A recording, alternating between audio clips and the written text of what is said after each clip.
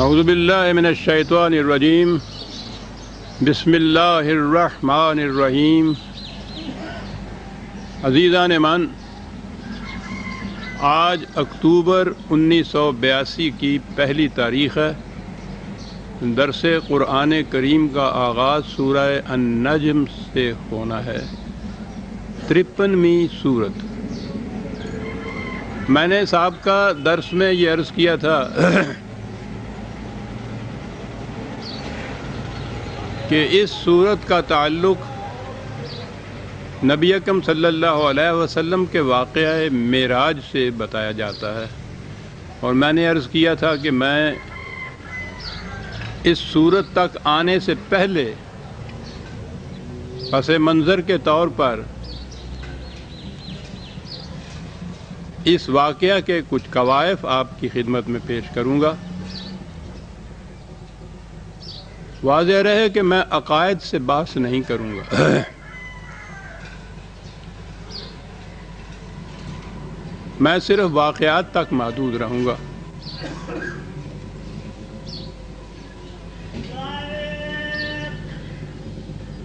वाक़ मराज को दो मराहल में तकसीम किया जाता है। एक, नबी अकम सल्लल्लाहु अलैहि वसल्लम का मक्के से बैतुल मक़दस तक जाना।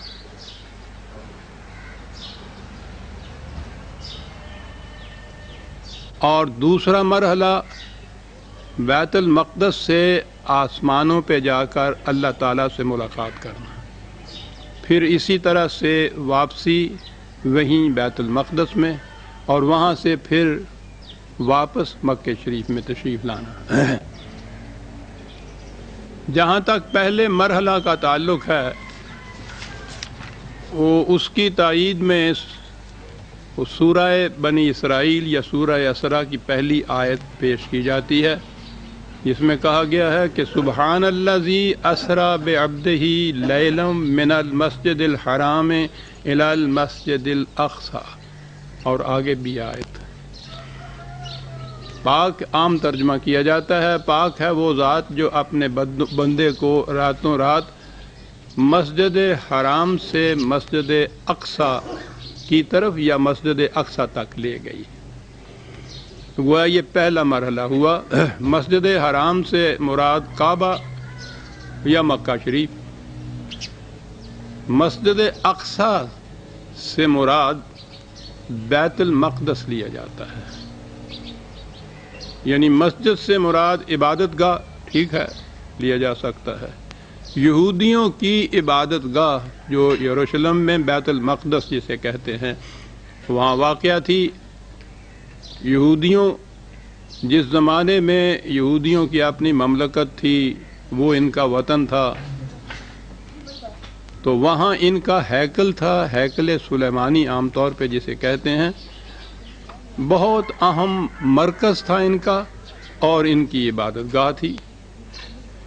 तो गोया कहा गया कि कुरान करीम में ये जो मस्जिद अक्सा कहा है, उससे मुराद बैतुल मक़दस का वो हैकल है या ख़ुद बैतुल मक़दस ही है कि इबादत गाह वहाँ यहूदियों की थी।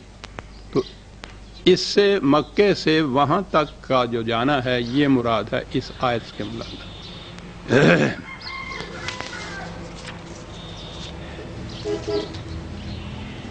यहाँ से वहाँ तक की जो तफसील है कुतब रवायात में मुतद मकाम पर, पर ये आया है। हमारे यहाँ की कुतब तफासिर में फिर वही बात आई हुई है। मुतकदमीन के यहाँ भी लेकिन मैं उसकी तफसील हमारे दौर के जो मुफसर हाल ही में जिनका इंतकाल हुआ अबुला मदूदी मरहूम।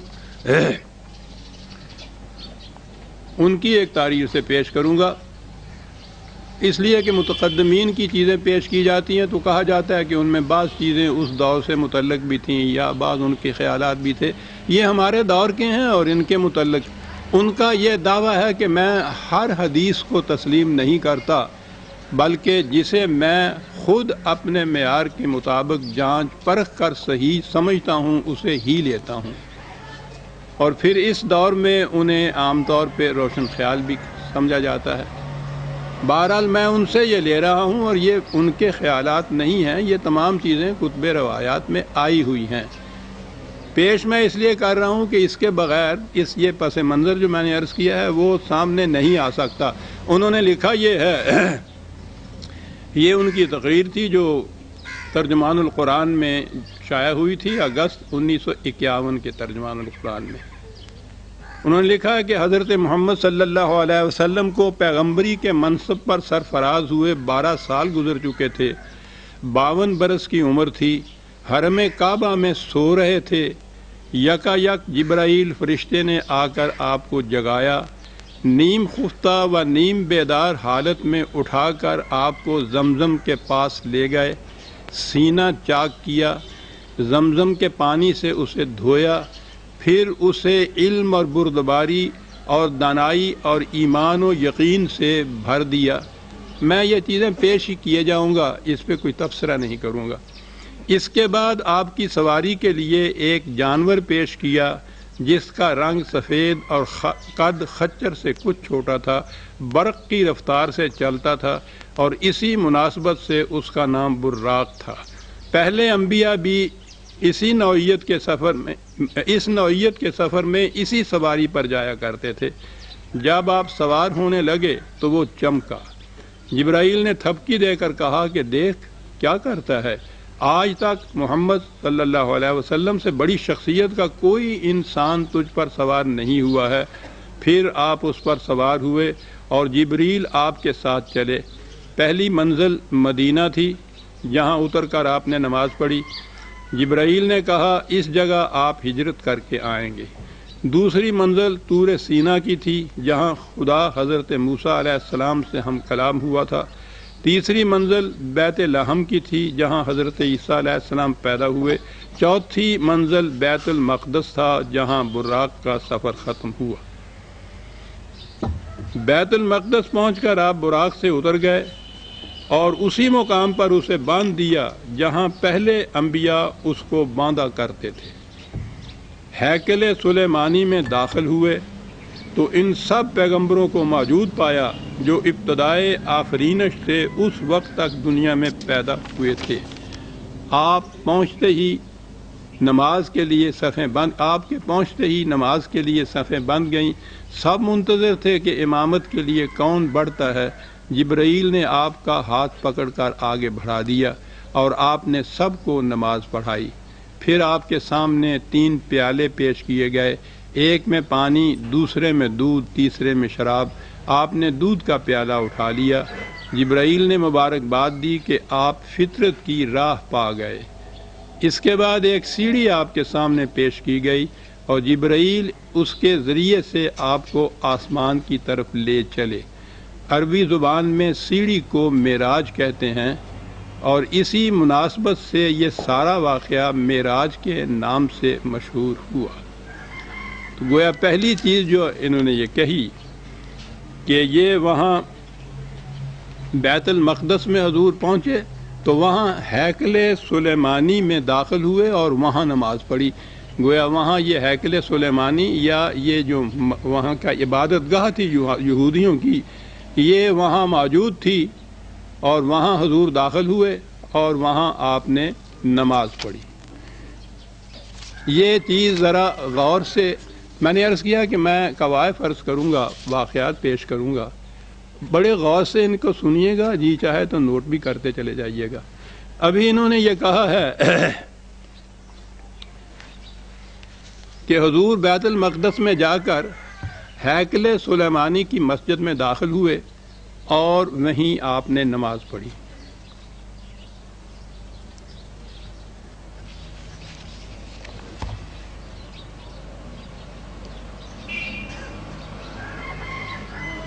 यहूदियों का ये दावा है, आजकल आपको मालूम है, बड़ी अहमियत अख्तियार कर गया है बातल बैतुल मकदस यहूदियों का ये दावा। और मस्जिद अक्सा जिसे हम कहते हैं। तो यहूदियों का दावा ये है कि ये तो शुरू से हमारी मस्जिद, हमारी इबादत गाह थी। मुसलमानों ने इसे मिसमार किया और उसकी जगह अपनी मस्जिद बना दी। इसी दावे की बुनियाद पे वो ये कहते हैं, ये हमारा है ये, मुसलमानों का इस पे हक नहीं है। इन्होंने तो उनका दावा, इन्होंने तो गसब करके इस मकाम पर अपनी मस्जिद बना ली थी। ये मस्जिद सुलेमान, हैकल सुलेमानी हमारा इबादत गाह हमारी थी इसे मुसलमानों ने मिसमार करके और उस जगह अपनी मस्जिद बनाई। इसलिए इन्हें हक नहीं पहुँचता, ये दावा उनका। इस दावे के जवाब में इन्हीं मदूदी साहब ने तर्जमानुल कुरान की सितंबर उन्नीस सौ उनहत्तर की इशायत में तारीफ़ फरमाया, मैं फिर दोहरा दूँ अभी अभी आपने देखा है, उन्होंने ये कहा था कि हजूर बैतुल मकदस में तशरीफ़ ले गए और हैकल सुलेमानी में दाखिल होके उस मस्जिद में आपने नमाज़ पढ़ी, बल्कि नमाज़ पढ़ाई अम्बिया कराम की इमामत करते हुए। आ गया जहन में आपके यहूदियों ने जब यह दावा किया कि यहाँ तो हमारी मस्जिद थी, हैकल सुलेमानी थी, मुसलमानों ने मिसमार किया। इसके जवाब में इन्होंने 1970 में ये लिखा कि यहूदियों के माबद हैकल सुलेमानी के मुतलक ये बात तारीख से साबित है कि सन सत्तर हिजरी में बिल्कुल मिसमार कर दिया गया था। गोया सत्तर माफ़ रखिएगा मैंने हिजरी गलत कह दिया सन सत्तर ईस्वी में रोमन्स ने आकर आखिरी तबाही जो है यहूदियों की, वो रोमन्स के हाथों हुई सी सन सत्तर ईस्वी में। और उसने, उन्होंने आके इनकी ईंट से, ईंट बजा दी थी माबद या हैकल वगैरह जो था, वो खंडरात में तब्दील हो गया था और इनको वहाँ से निकाल दिया गया था। सन सत्तर ईस्वी में रोमन्स ने ये किया था और उसके बाद उस मकाम पे इन्होंने कब्जा किया और वहाँ फिर ईसाई जो थे, ईसाइयों का का माबद, ईसाइयों की, का गिर, वो हैकल कलीसा हैकल तो यहूदी कह, कहते थे कलीसा उनका ये मरकज बन गया ईसाइयों का सन सत्तर ईस्वी के बाद और वहाँ से उन्होंने नामो निशान मिटा दिया। यहूदियों की पहली सबका इमारात का भी महाबत का भी हैकल का भी कोई चीज़ बाकी नहीं थी सन सत्तर ईस्वी के बाद। नबी अकम वसल्लम तो छठी सदी ईस्वी के अंदर तशीर लाया ना मबूस हुए हैं। सत्तर ईस्वी में ये कैफियत वहाँ हो गई थी इस माबद की या इस मस्जिद की। अभी अभी इन्होंने ये लिखा है कि हजूर वहाँ गए और इस मस्जिद में दाखिल हुए और वहाँ नमाज़ पढ़ी। कहते हैं कि यहूदियों के माबद हैकल सुलेमानी के मुतलक ये बात तारीख से साबित है कि उसे सन सत्तर ईस्वी में बिल्कुल मिसमार कर दिया गया था। और हज़रत उमर के ज़माने में जब बैतुल मकदस फतह हुआ उस वक्त यहाँ यहूदियों का कोई माबद नहीं था। हज़रत उमर रज़ी तु के ज़माने में भी कोई माबद नहीं था। तो नबी अकम वसल्लम में के ज़माने में तो माबद हो ही नहीं सकता। वो तो सन सत्तर ईस्वी में 600 साल पहले की बात है। मिसमार कर दिया गया था। खंडरात थे उसके। मैं इन्हीं की सनत से, मैं बाद में अर्ज़ करूँगा तारीख इसकी।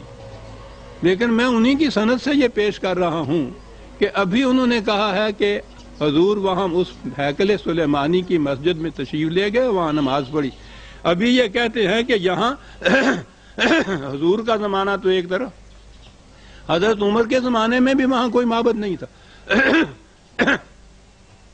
माफ़ रखिएगा, गला खराब है। वो इससे बहुत पहले मिसमार हो चुका था। खंडर पड़े हुए थे। इसलिए यहाँ मस्जिद अक्सा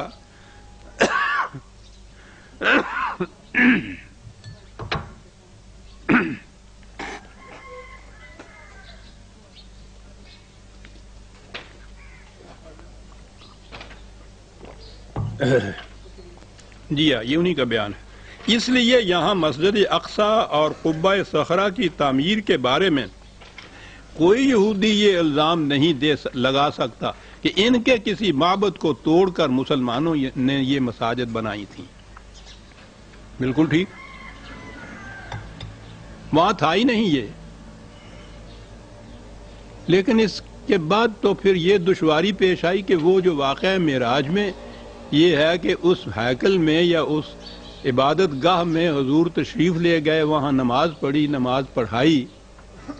तो उसके मतलब फिर क्या क्या कहा जाएगा? ये सितंबर उनहत्तर में तर्जमानुल कुरान में ये लिखा गया।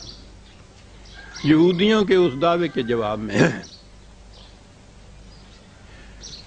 उसी सितंबर उन्नीस सौ उनहत्तर में इनके दर्स में एक ने सवाल किया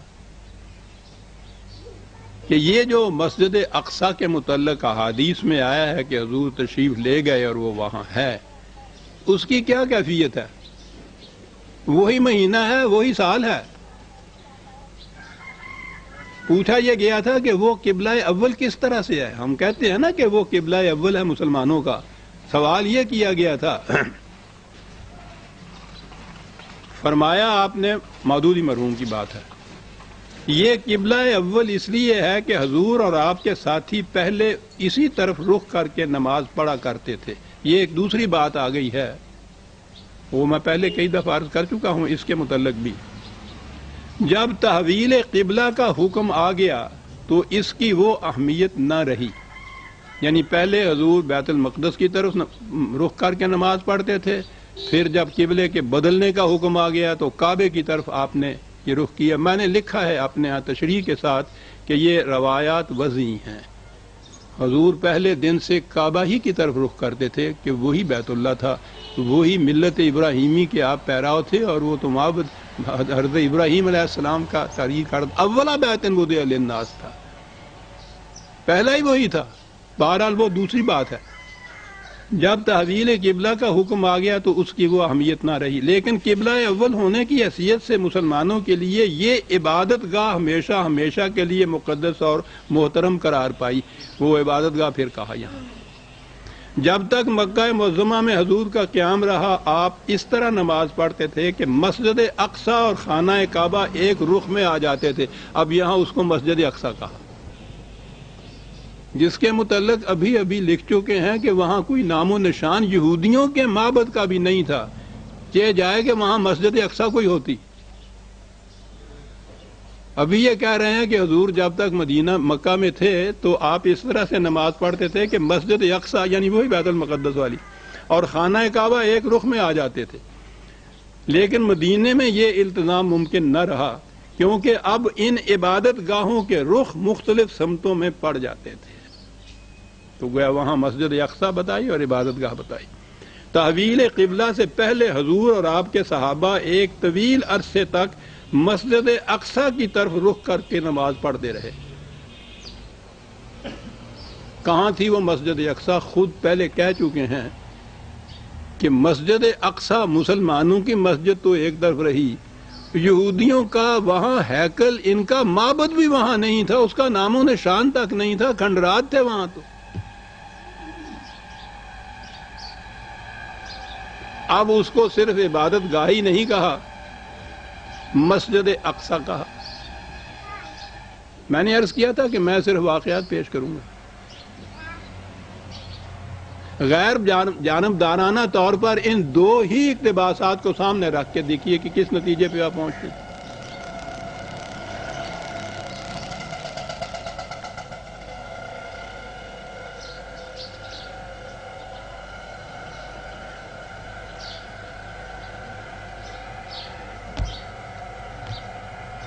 अब वो जो यहूदियों का वो दावा है, इतराज है कि यहाँ हमारा पहले माबद था, हैकल सुलेमानी था, उसकी जगह मुसलमानों ये मस्जिद बना दी। तो तस्लीम कर दिया कि वहाँ था वो। यहाँ बना ली। और इसी के ऊपर दावे की बुनियाद रख रहे हैं वो। इससे मुझे गरज नहीं है कि उनके दावा किया, बुनियाद किया। वो तो मैं तारीख से और कुछ साबित करूँगा। ये बात तो खुद ये बता रहे हैं, कह रहे हैं पहले कि वहाँ हज़रत उमर के जमाने में भी कोई माबद नहीं था, कोई हैकल नहीं था, कोई मस्जिद नहीं थी, कोई इबादत गाह नहीं थी। खंडरात थे। और अभी अभी ये फरमा रहे हैं कि हजूर जब मक्के में थे तो वो मस्जिद अक्सा की तरफ़ रुख करके नमाज़ पढ़ते थे, वही हमारा किबला अव्वल है। बनी इसराइल की पहली आयत अभी पेश की कि पाक है वो ज़ात जो अपने बंदे को रातों रात मस्जिद हराम से मस्जिद अक्सा की तरफ़ ले गई। तो मस्जिद अक्सा जो है, वो अब बताया कि ये वो थी जो बैतुल मकदस है। जहाँ अभी अभी इसी सांस में, उसी महीने में, उसी साल में ये कह रहे हैं अपने पर्चे में कि वहाँ कोई इबादत गाह नहीं थी। वहाँ कोई हैकल नहीं था, वहाँ कोई यहूदियों की मस्जिद नहीं थी। अभी ये कह रहे हैं कि मस्जिद अक्सा की तरफ़ हजूर नमाज़, रुख करके नमाज़ पढ़ा करते थे। तारीखी एतबार से अजीज़ा ने मान पहले इसको देखिए। मैंने अर्ज़ किया कि मैं अकीदे से बात नहीं करूँगा। किस नतीजे में पहुंचेगा आदमी? एक ही शख्स है आपके यहाँ का। पहले उन्होंने बताया, वो जो हजूर की तशरीफ़ बरारी थी मक्के से, वहाँ कहा कि हजूर बैतुल मकदस में पहुँचे, हैकल सुलेमानी में दाखिल हुए, मस्जिद सुलेमानी में। वहाँ हजूर ने नमाज़ पढ़ी अम्बिया कराम की इमामत कराई। वहाँ ये चीज़ हो गई कि वहाँ एक मस्जिद थी हैकल सुलेमानी था इबादत गाह थी यहूदियों की। उससे ये चीज़ बताया। ये हजूर की नबूवत का बारहवें साल का सावन बावन का वाक़ बता दिया। उसके बाद ये चीज़ खुद ही बता दी कि वहाँ कोई हैकल नहीं था, वहाँ कोई इबादत गाह नहीं थी, वहाँ कोई माबद नहीं था। वो तो खंडरात पड़े हुए थे वहाँ। नामो निशान तक नहीं था। दूसरा बयान ये आ गया। तीसरा ये बयान आ गया कि मस्जिद अक्सा वहाँ मौजूद थी और हजूर और सहाबा मदीने की पूरी ज़िंदगी में और मक्के की पूरी ज़िंदगी में और फिर मदीने की इब्तदाई ज़िंदगी में भी उस मस्जिद अक्सा की तरफ़ रुख करके नमाज़ पढ़ा करते थे।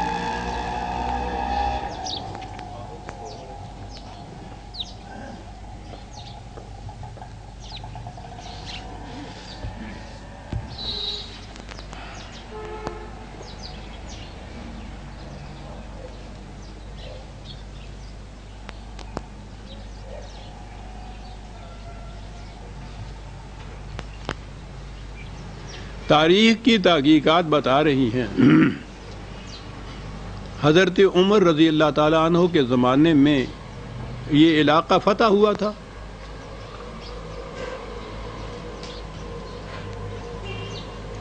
बैतुल मक़दस में ईसाइयों का मरकज़ी कलीसा था। यरूशलेम तो आप जानते हैं उनके नज़दीक कितनी अहमियत रखता।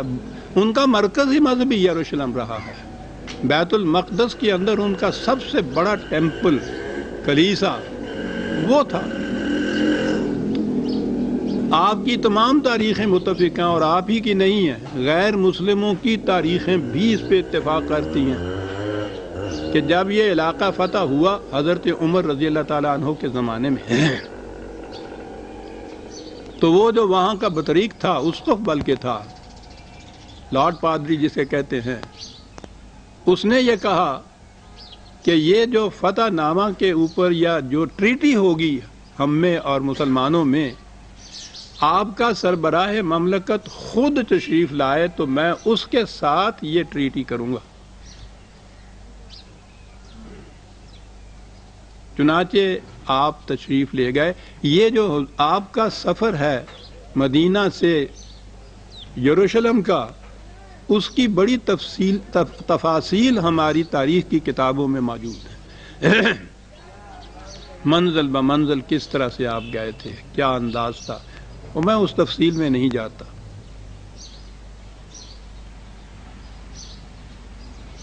वहाँ जब आप पहुँचे तो उनके उस कलीसा या उसके गिरजे में उसके साथ मसरूफ़ गुफ्तगु थे।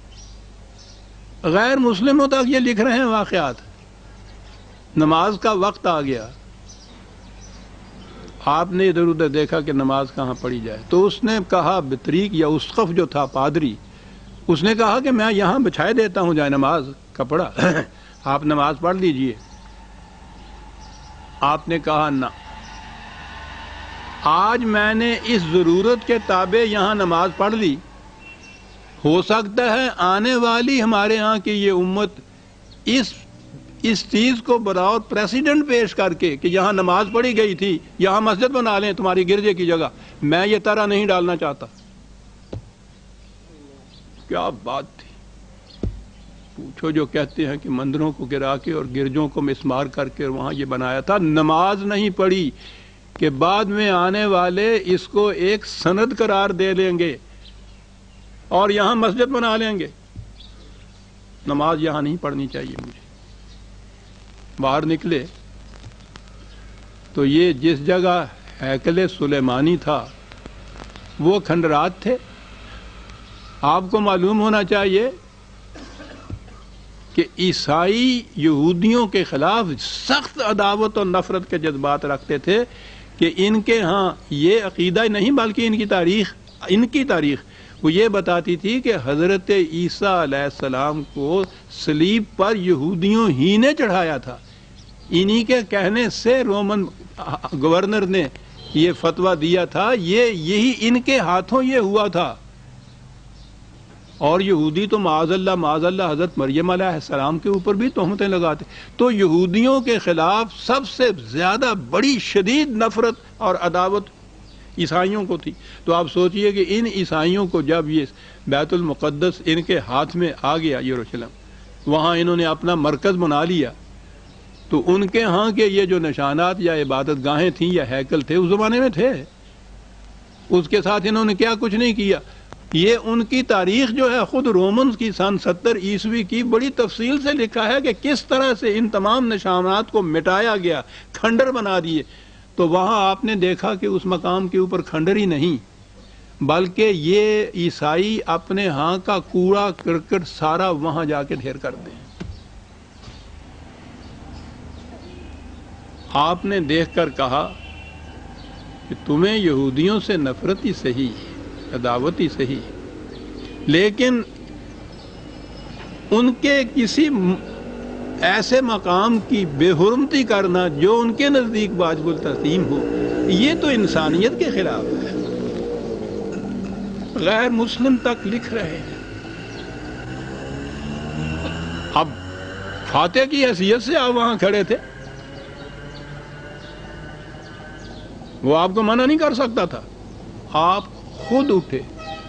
साथियों से नहीं कहा, फौजियों से नहीं कहा, सिपाहियों से नहीं कहा। खुद आगे बढ़े। और उस कूड़े को टोकरी में भर भर के उठा उठा के दूसरी जगह फेंकना शुरू किया, फिर तो साथी रूफका ने भी ये कुछ किया। ईसाइयों का ये कूड़ा कटकट और गलाजत फैलाई हुई जो थी उस मकाम के ऊपर, मुसलमानों के सरबराह ममलकत अमीरमिन ने अपने हाथों से उस अलाद को साफ़ किया। कहा कि नहीं है वो मकाम यहाँ, तुमने मिसमार किए, लेकिन बहरहाल एहतराम तो ज़रूरी है दूसरों के जज्बात का। वहाँ साफ़ किया। वहाँ एक चटान बड़ी सी थी। सखरा याकूब उसको, वो कहते थे, यहूदी अपने यहाँ चटान को कहते हैं। तो उसके बाद वहाँ से गलाजत साफ़ की और वहाँ ये जो कुछ थोड़ी सी चटान ऊँची सी थी, वहाँ आपने नमाज़ पढ़ी। अब वो मकाम जो था सवाल वहाँ यहूदियों का तो था ही नहीं, कोई था ही नहीं यहूदी वहाँ। ईसाइयों के कब्जे में था, मुसलमानों ने फतह कर लिया था। अब तो मुसलमानों का मफतू इलाका था वो। ईसाइयों के साथ जो अहदनामा हुआ है वहाँ, उसमें यही थी कि उनको इजाज़त दी गई थी कि तुम्हारा यहाँ कलीसा रहेगा, तुम्हें इजाज़त होगी अपने मज़हब की, तुम्हें अपनी प्रस्तश की इजाज़त होगी, हम हिफाजत करेंगे तुम्हारे कलीसा की। लेकिन उसके बाद जितना मकाम था, वो तो इनका मफतूहा इलाका था, जो जी में आए वहाँ करते। तो उस मकाम पे जहाँ आपने वो वो चटान था है, पत्थर का, वहाँ नमाज़ पढ़ी थी। उसके करीब ही इन लोगों ने यूँ ही एक सादा सी, एक मस्जिद सी बना दी निशान के तौर पर। ये जो चटान है, ये बात मैं हज़रत उमर के वाकई कह रहा हूँ। वहाँ कोई मस्जिद अक्सा नहीं थी, वहाँ कोई माबद नहीं था। वहाँ हैकल का निशान तक नहीं था। ये जिस चटान पे या पत्थर पे आपने नमाज़ पढ़ी थी, उसके करीब एक छोटी सी मस्जिद निशानी के तौर पर अलग जगह पे बना दी थी। उमैया के ज़माने में अब्दुल मलिक बिन मरवान, उसने एक तो ये जो पत्थर चटान थी इस चटान पर एक गुंबद तमीर किया, कुब्बा जिसे कहते हैं। और जो कहा जाता है कि उस जमाने की फन तमीर का शाहकार था। ये आप जो पढ़ रहे हैं ना, आजकल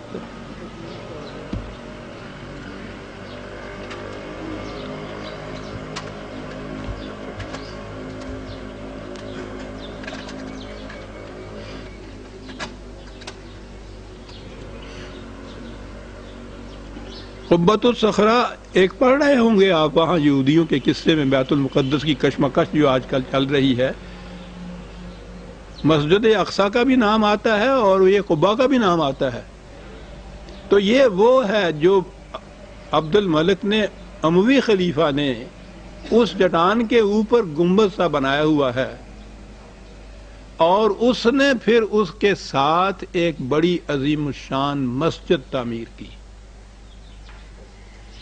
ये मस्जिद जो थी, मक्के से भी दूर, मदीने से भी दूर हती कि इनका अपना दारुल हुकूमत, दमिश्क जो था, अमवियों का, उससे भी दूर थी।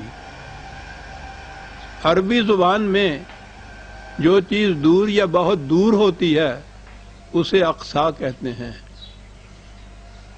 चुनाचे इनके यहाँ ये मस्जिद जो मरवान ने बनवाई थी सन बहत्तर हिजरी में। गौर फरमाया आपने, सन बहत्तर हिजरी में, उमैया के जमाने में, मरवान की बनाई हुई। गुंबद कुब्बे के ऊपर उसने चटान पे बनाया, कुब्बत और ये मस्जिद बनाई, और इस मस्जिद को पहली बार मस्जिद अक्सा कहा, इस एतबार से कि ये इन तमाम मकाम से बहुत दूर जगह एक मस्जिद बनी हुई थी। अक्सा के माने ही है बहुत दूर जगह।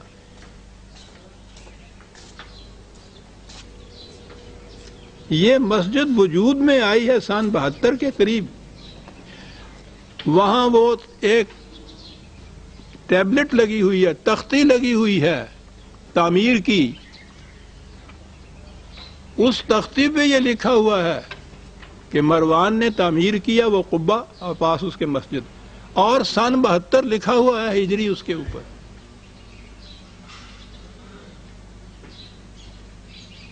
उसका नाम है मस्जिद अक्सा। यहूदियों का तो दावा इसलिए बातिल है कि खुद उनकी तारीख में यह है कि सन सत्तर की जो तबाही रोमन के हाथों उनकी हुई थी, उन्होंने वहाँ ईंट से ईंट बजा दी थी। कोई निशान नहीं खाली छोड़ा था।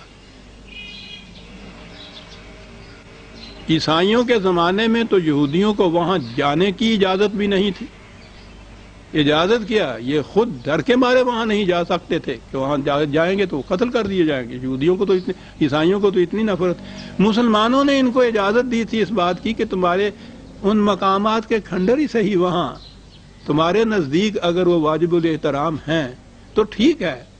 तुम साल में एक मरतबा जो भी तुम्हारा वो एक मुकदस दिन आता है उस दिन वहाँ जाके उन मकाम की जियारत कार्य करो। आपको पता है कि ये वेलिंग वार एक ये है, दीवार एक गिरिया। वहाँ एक कोई छोटी सी दीवार एक बाकी थी। तो ये हर साल वहाँ जाकर, वहाँ रोते थे, चीखते थे और कहते थे कि हमारे ये इतने बाज़मत निशानात और माबदे और इबादत गाहें, ये तबाह हो गई। ये अलग बात है कि इनके अंदर वो सियासत ऐसी थी कि इन्होंने इस चंगारी को ज़िंदा रखा। कि एक दिन यहाँ हम आकर आबाद होंगे। ये इनका फिक्रा चला आ रहा था। ये एक दूसरी कहानी आ जाएगी जो मैं अर्ज़ करूँगा तारीखी एतबार से, कि ये जो आज फितना इस तरह से एक लावा की और आतश वशां पहाड़ की शक्ल अख्तियार कर गया है। इसकी चंगारियाँ उस जमाने में थी और ये मुसलमानों ने इजाज़त दी थी इनकी वहाँ जाए। वहाँ जाके ये अपने यहाँ रोते थे दीवारे गिरिया के सामने और उनके यहाँ ये पेट सेट दुआ है। कि ये हमसे छिन गई हुई हैं। हम यहाँ आकर आबाद होंगे। ये सदियों से ये चीज़ वहाँ दीवारें गिरिया के सामने ये करते थे और कोई निशान वहाँ नहीं था।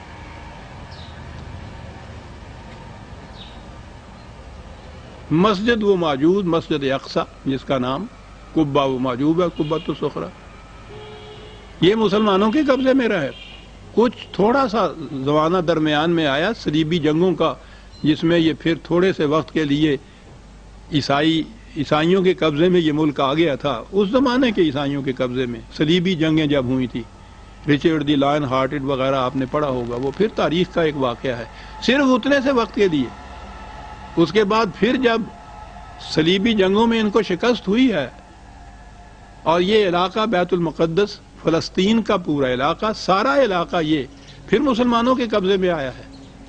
और उसके बाद ये फिर ईसाइयों के या यहूदियों के कब्जे में नहीं गया।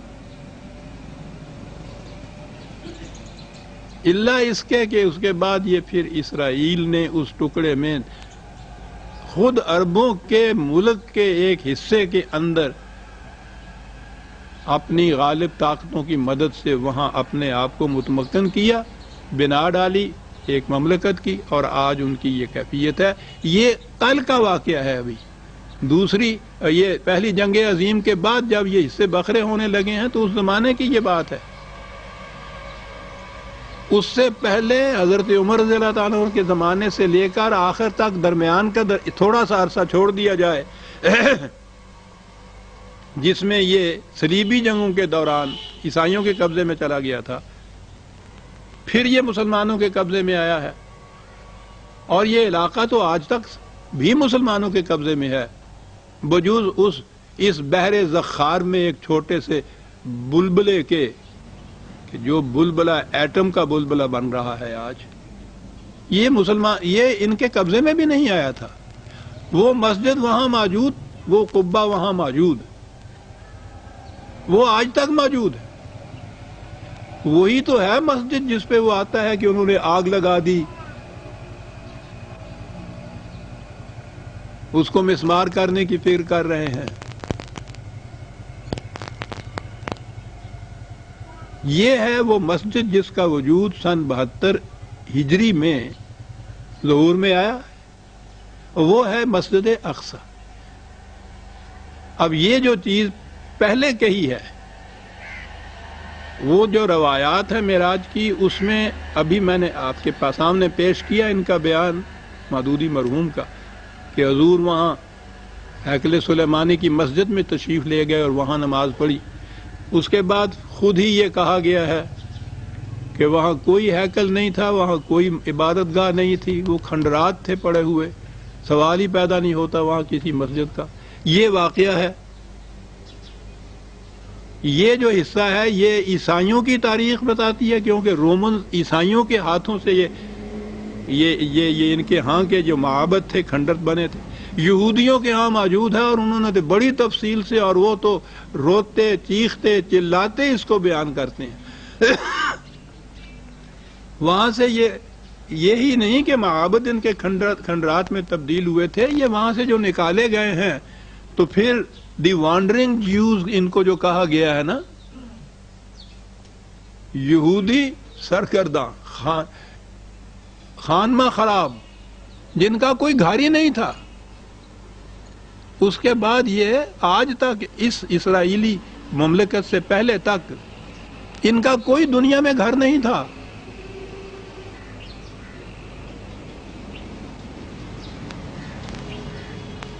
तो वहाँ तो ये कुछ था ही नहीं। मस्जिद अक्सा तो सन बहत्तर में वजूद में आई अम्मियों के जमाने में। वो मौजूद है मस्जिद अक्सा अब हमारे यहाँ जब ये इस आया जलीला को ये लेते हैं, कि पाक है वो ज़ात जो अपने बंदों को रातों रात मस्जिद हराम से मस्जिद अक्सा की तरफ़ ले गई तो चूँकि वहाँ मस्जिद अक्सा अब मौजूद है वो मस्जिद अक्सा तो उस नस्बत से ये कहा जाता है कि कुरान की ये आयत में जो मस्जिद अक्सा आई है, ये ये मस्जिद है जो वहाँ मस्जिद अक्सा कहलाती है। जब ये आयत नाजल हुई है तो वहाँ मुसलमानों की मस्जिद तो एक तरफ़ रहा। ये यहूदियों की सजदागाह भी वहाँ कोई मौजूद नहीं थी। इनका हैकल नहीं, मौजूद नहीं था। इनकी इबादत गाह मौजूद नहीं थी। इनको वहाँ जाने की इजाज़त नहीं थी।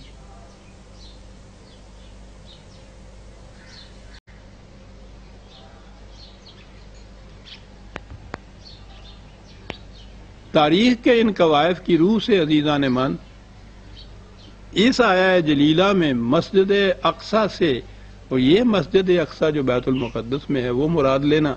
सही नहीं हो सकती।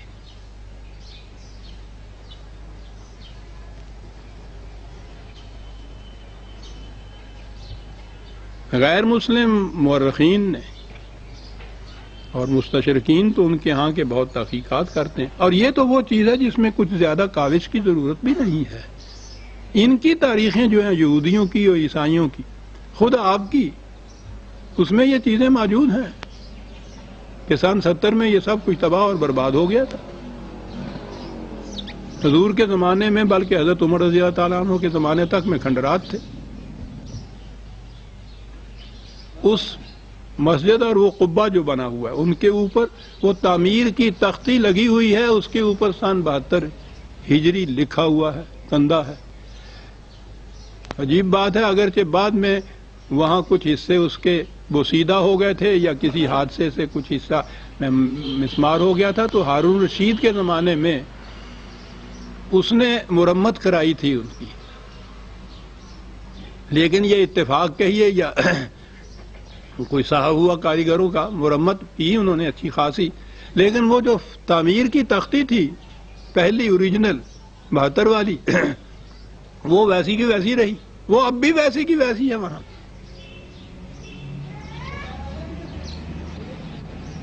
मैं खुद तो नहीं गया कि मैं अपना चश्मदीज ये कहूँ, लेकिन ये तो वो चीज़ है कि जिसपे हज़ारों लोग हर साल वहाँ से होके आते हैं सर।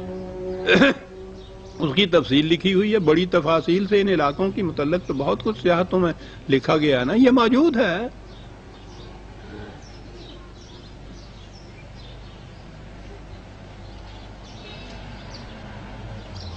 तो वो मस्जिद तो मुराद नहीं हो सकती।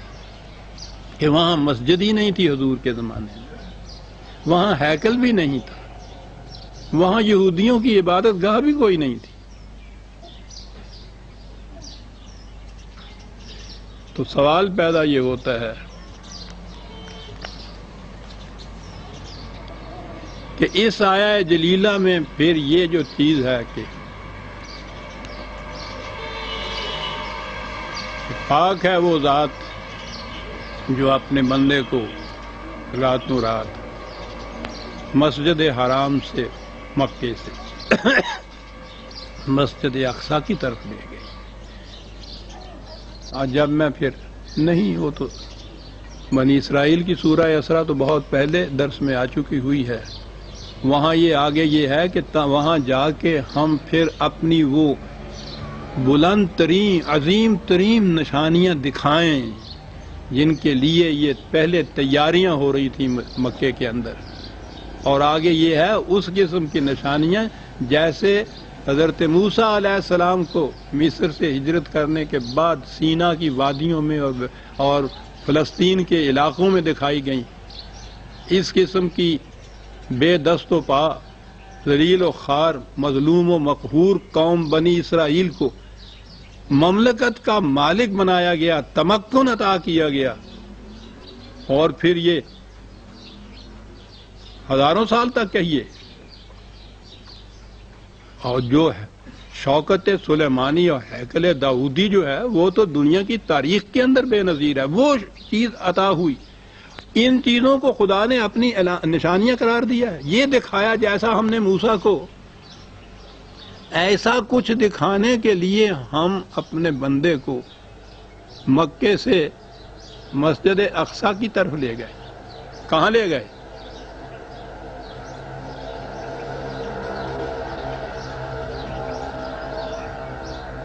मैं दरमियान में अपनी मैं की बात नहीं करता वाक़ अर्ज़ करता हूँ। मुद्दतों तक इसके ऊपर मैं तहकीक करता रहा काविश करता रहा। मैंने ये बात लिखी कि ये आयत, ये तो नबी अकम सल्लल्लाहु अलैहि वसल्लम की हिजरत से मुतल है जो हजूर ने मक्के से मदीने की तरफ़ हिजरत की थी, रातों रात।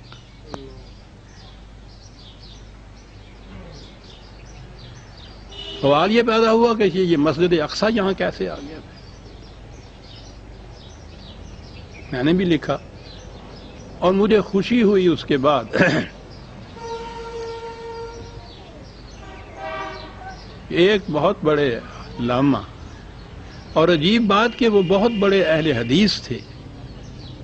अलामा अनायतुल्ला असरी, वजीराबादी, गुजरात में जो रहते। दो तीन साल हुए उनका इंतकाल हुआ है। मैंने बहुत पहले ये चीज़ लिखी थी। उन्हें लिखा तो वो बहुत खुश हुए थे। याद रखिए, वो बहुत बड़े अहले हदीसों के इमाम थे। उन्होंने अहादीस की रूह से यह साबित किया कि जो मैंने लिखा है वो सही है, ये आयत हिजरत से मुतलक है। और वो लाए इन चीज़ों को फिर। कहा, ये जो अक्सा है, कुसवा है, दूर की बात जिसे आप कहते हैं। पहली चीज़ ये है कि मक्के से मदीने का उस दौर में अब भी वो फासला कुछ कम नहीं, करीबन 300 मील का फासला। तो वो तो अक्सा था। बहुत दूर।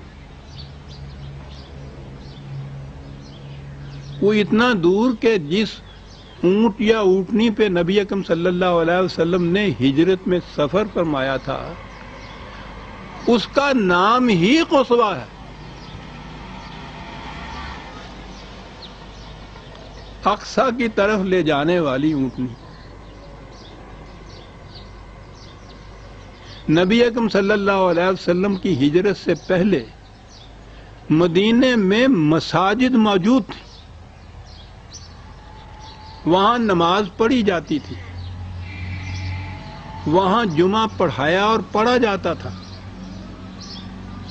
जिस मकाम पर हजूर ने पहले मस्जिद कुबा में जाके फरोका शजूर हुए हैं, आर्जी तौर पर, वहाँ भी वहाँ नमाज़ होती थी।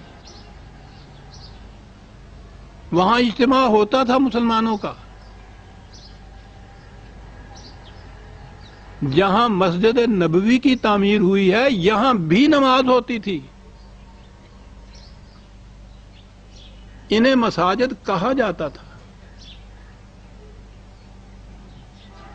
तो अब ये मसाजिद तो मौजूद हैं, और ये मुकाम अक्सा भी मौजूद है, बहुत दूर।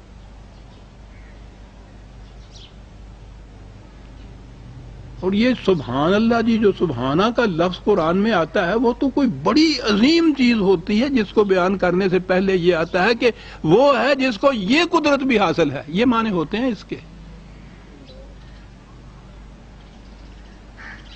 कि मक्के जैसी ज़िंदगी बसर करने वाले, मक्के के अंदर पत्थर पड़ रहे हैं घालियाँ पड़ रही हैं, जान के लागू वो हो रहे हैं। बुलंद आवाज़ से कोई कलमा ज़ुबान पे नहीं आने देते। इन हालात में साथ ही पहले हिजरत में हबश की तरफ़ चले गए हैं, हजूर तायफ की तरफ़ तशीफ ले गए हैं तो वहाँ उन्होंने पत्थर मारे हजूर पे। वहाँ इन हालात में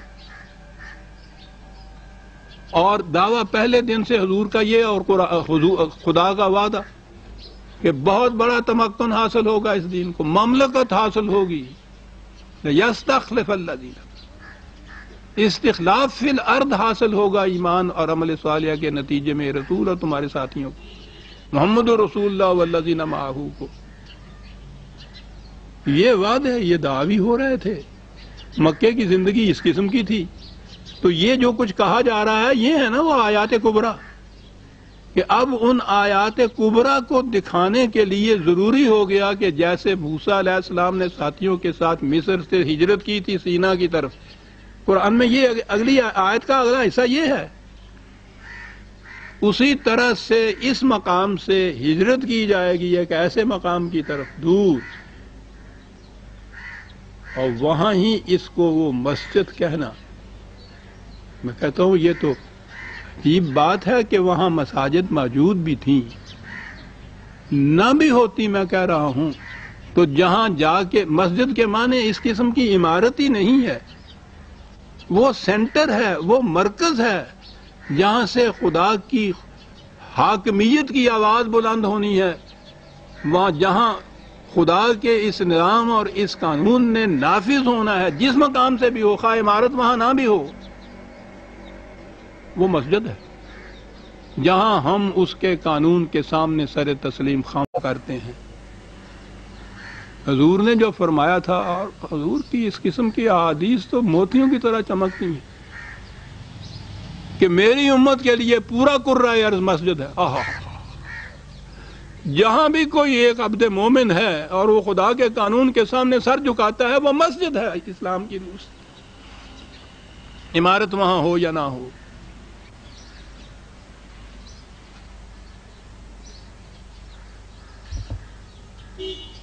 हक है वो ज़ात जो रातों रात। मस्जिद हराम से दूर की जगह जहाँ मस्जिद है भी और जिसे अब मस्जिद बनना है, वहाँ ले गई चाह के वो निशानियाँ जो अभी तक जेर नकाब थी, जो अभी तक छुपी हुई थी, वो हकीकत मुंतजर जो थी, वो लिबास मजाज में नज़र आ जाए, ले गया वो अब अपने को वहाँ रातों रात। और अगली बात सुनिए अजीजा ने मान हमारी तारीखों के अंदर खुद मदीने का एक नाम मस्जिद अक्सा है। इसके बाद और कुछ कहने की मुझे ज़रूरत ही नहीं। मैंने जब ये लिखा था कि इससे मुराद हिजरत है और मदीना है, मुझे एतराफ़ है इस चीज़ का कि ये बात उस वक्त मेरे इल्म में नहीं थी। कि खुद मदीने के मुख्तलिफ़ नाम है मदीने के। एहतरामन नाम रखे हुए हैं तबर्रक नाम रखे हुए हैं, तजीमन नाम रखे, उनमें मदीने का एक नाम खुद मस्जिद अक्सा मदीने का नाम है। हमारी तारीखों में मौजूद है। मैंने अर्ज़ किया है ना कि ये चीज़ उस वक्त तक मेरे इल्म में नहीं आई थी। ये बात की बात है। मुझे खुशी हुई कि मैंने कुरान की काविश और तारीख से मैं जिस नतीजे पे पहुँचा था, उसकी तायद तारीख कर रही है। उसकी तायद फिर ये अहादीस और रवायात कर रही हैं कि मदीने के अंदर ये मसाजिद मौजूद थी। वहाँ नमाज़ होती थी, वहाँ खुतबे होते थे। और ये चीज़ कि खुद इसी जहद से मदीने का नाम मस्जिद यकसा है। तो ये आज जो है जिससे दलील लाई जाती है कि हजूर मक्का से इस तरह जिस तरह से अभी मैंने ये पढ़ के सुनाई है तफसील आपको मौदूदी मरहूम की ज़ुबान में कि इस तरह से आप वहाँ बुर्राक पे तशरीफ़ ले गए वहाँ इस तरह से नमाज़ हुई ये सारा। वो मस्जिद यकसा थी ही नहीं वहाँ। इस आया जलीला में जो मस्जिद अक्सा है ये वहाँ की किसी इबादत गाह को कहा ही नहीं गया वहाँ ये इन, इनकी इबादत गाह थी ही नहीं यहूदियों की। वो उसकी तो हालत जो मैंने अर्ज़ किया है, खंडरात और खंडरात भी इस किस्म के। ईसाइयों के तल्लुब में तसलुत में, यहूदियों को जाने तक की इजाज़त नहीं। वहाँ ये उन मकाम के खंडरात पे कूड़ा करकट पहनखा करते थे। साफ़ किया हज़रत उमर ने जाके। मस्जिद वहाँ बनी सन बहत्तर हिजरी में। और ये चीज़ जो थी कि यहाँ मसाजिद भी थी और ख़ुद मदीने का एक नाम मस्जिद यकसा भी है। ये हमारे यहाँ मौजूद है। अब इसकी रोशनी में वो आयत साफ़ हो गई। बड़ी कुतों का मालिक है वो। मक्के जैसी ज़िंदगी में कि जहाँ मकतूब, मगलूब, मकहूर, हर किस्म की शदायद और मसाइब और तकालीफ बर्दाश्त करने की बात। रहने तक का ठिकाना नहीं, घर बार नहीं, सब कुछ ही ना हुआ। इन हालात में से एक अपने बंदे को वो निकालता है और वो रातों रात निकालता है इसको भी। ले जाता है उस मकाम के ऊपर। बहुत दूर के जिसने मरकज बनना था, कवानीन खुदा जिसने सजदागा बनना था, इसके बाद निज़ाम खुदाबंदी का। जहाँ मसाजिद मौजूद थी और उस एतबार से जिस शहर का एक नाम मस्जिद अक्सा था मक्के से चलो तो वो शहर ही एक आता है, उसके बाद तो ये मदिया। अब भी वहाँ अरब के अंदर, इस इलाके के अंदर, हालाँकि ये बड़ा मुतमदन और बड़ा दारकूमत और इसका मकाम है, वहाँ शहर अब भी वही दो तीन ही हैं। और नामवर शहर तो उस जमाने के अंदर समझिए, ये दो ही थे, मक्का और मदीना। और मदीना जो था, मक्के से इतनी दूर वाक़ हुआ था, वो तो अक्सा था ही। कुरान ने सूरह अनफाल में जहाँ जंग बदर का ज़िक्र आया है, वहाँ ये इस मकाम को, बदर के मकाम को मक्के से मक्के से अक्सा खुद कहा है। दूर।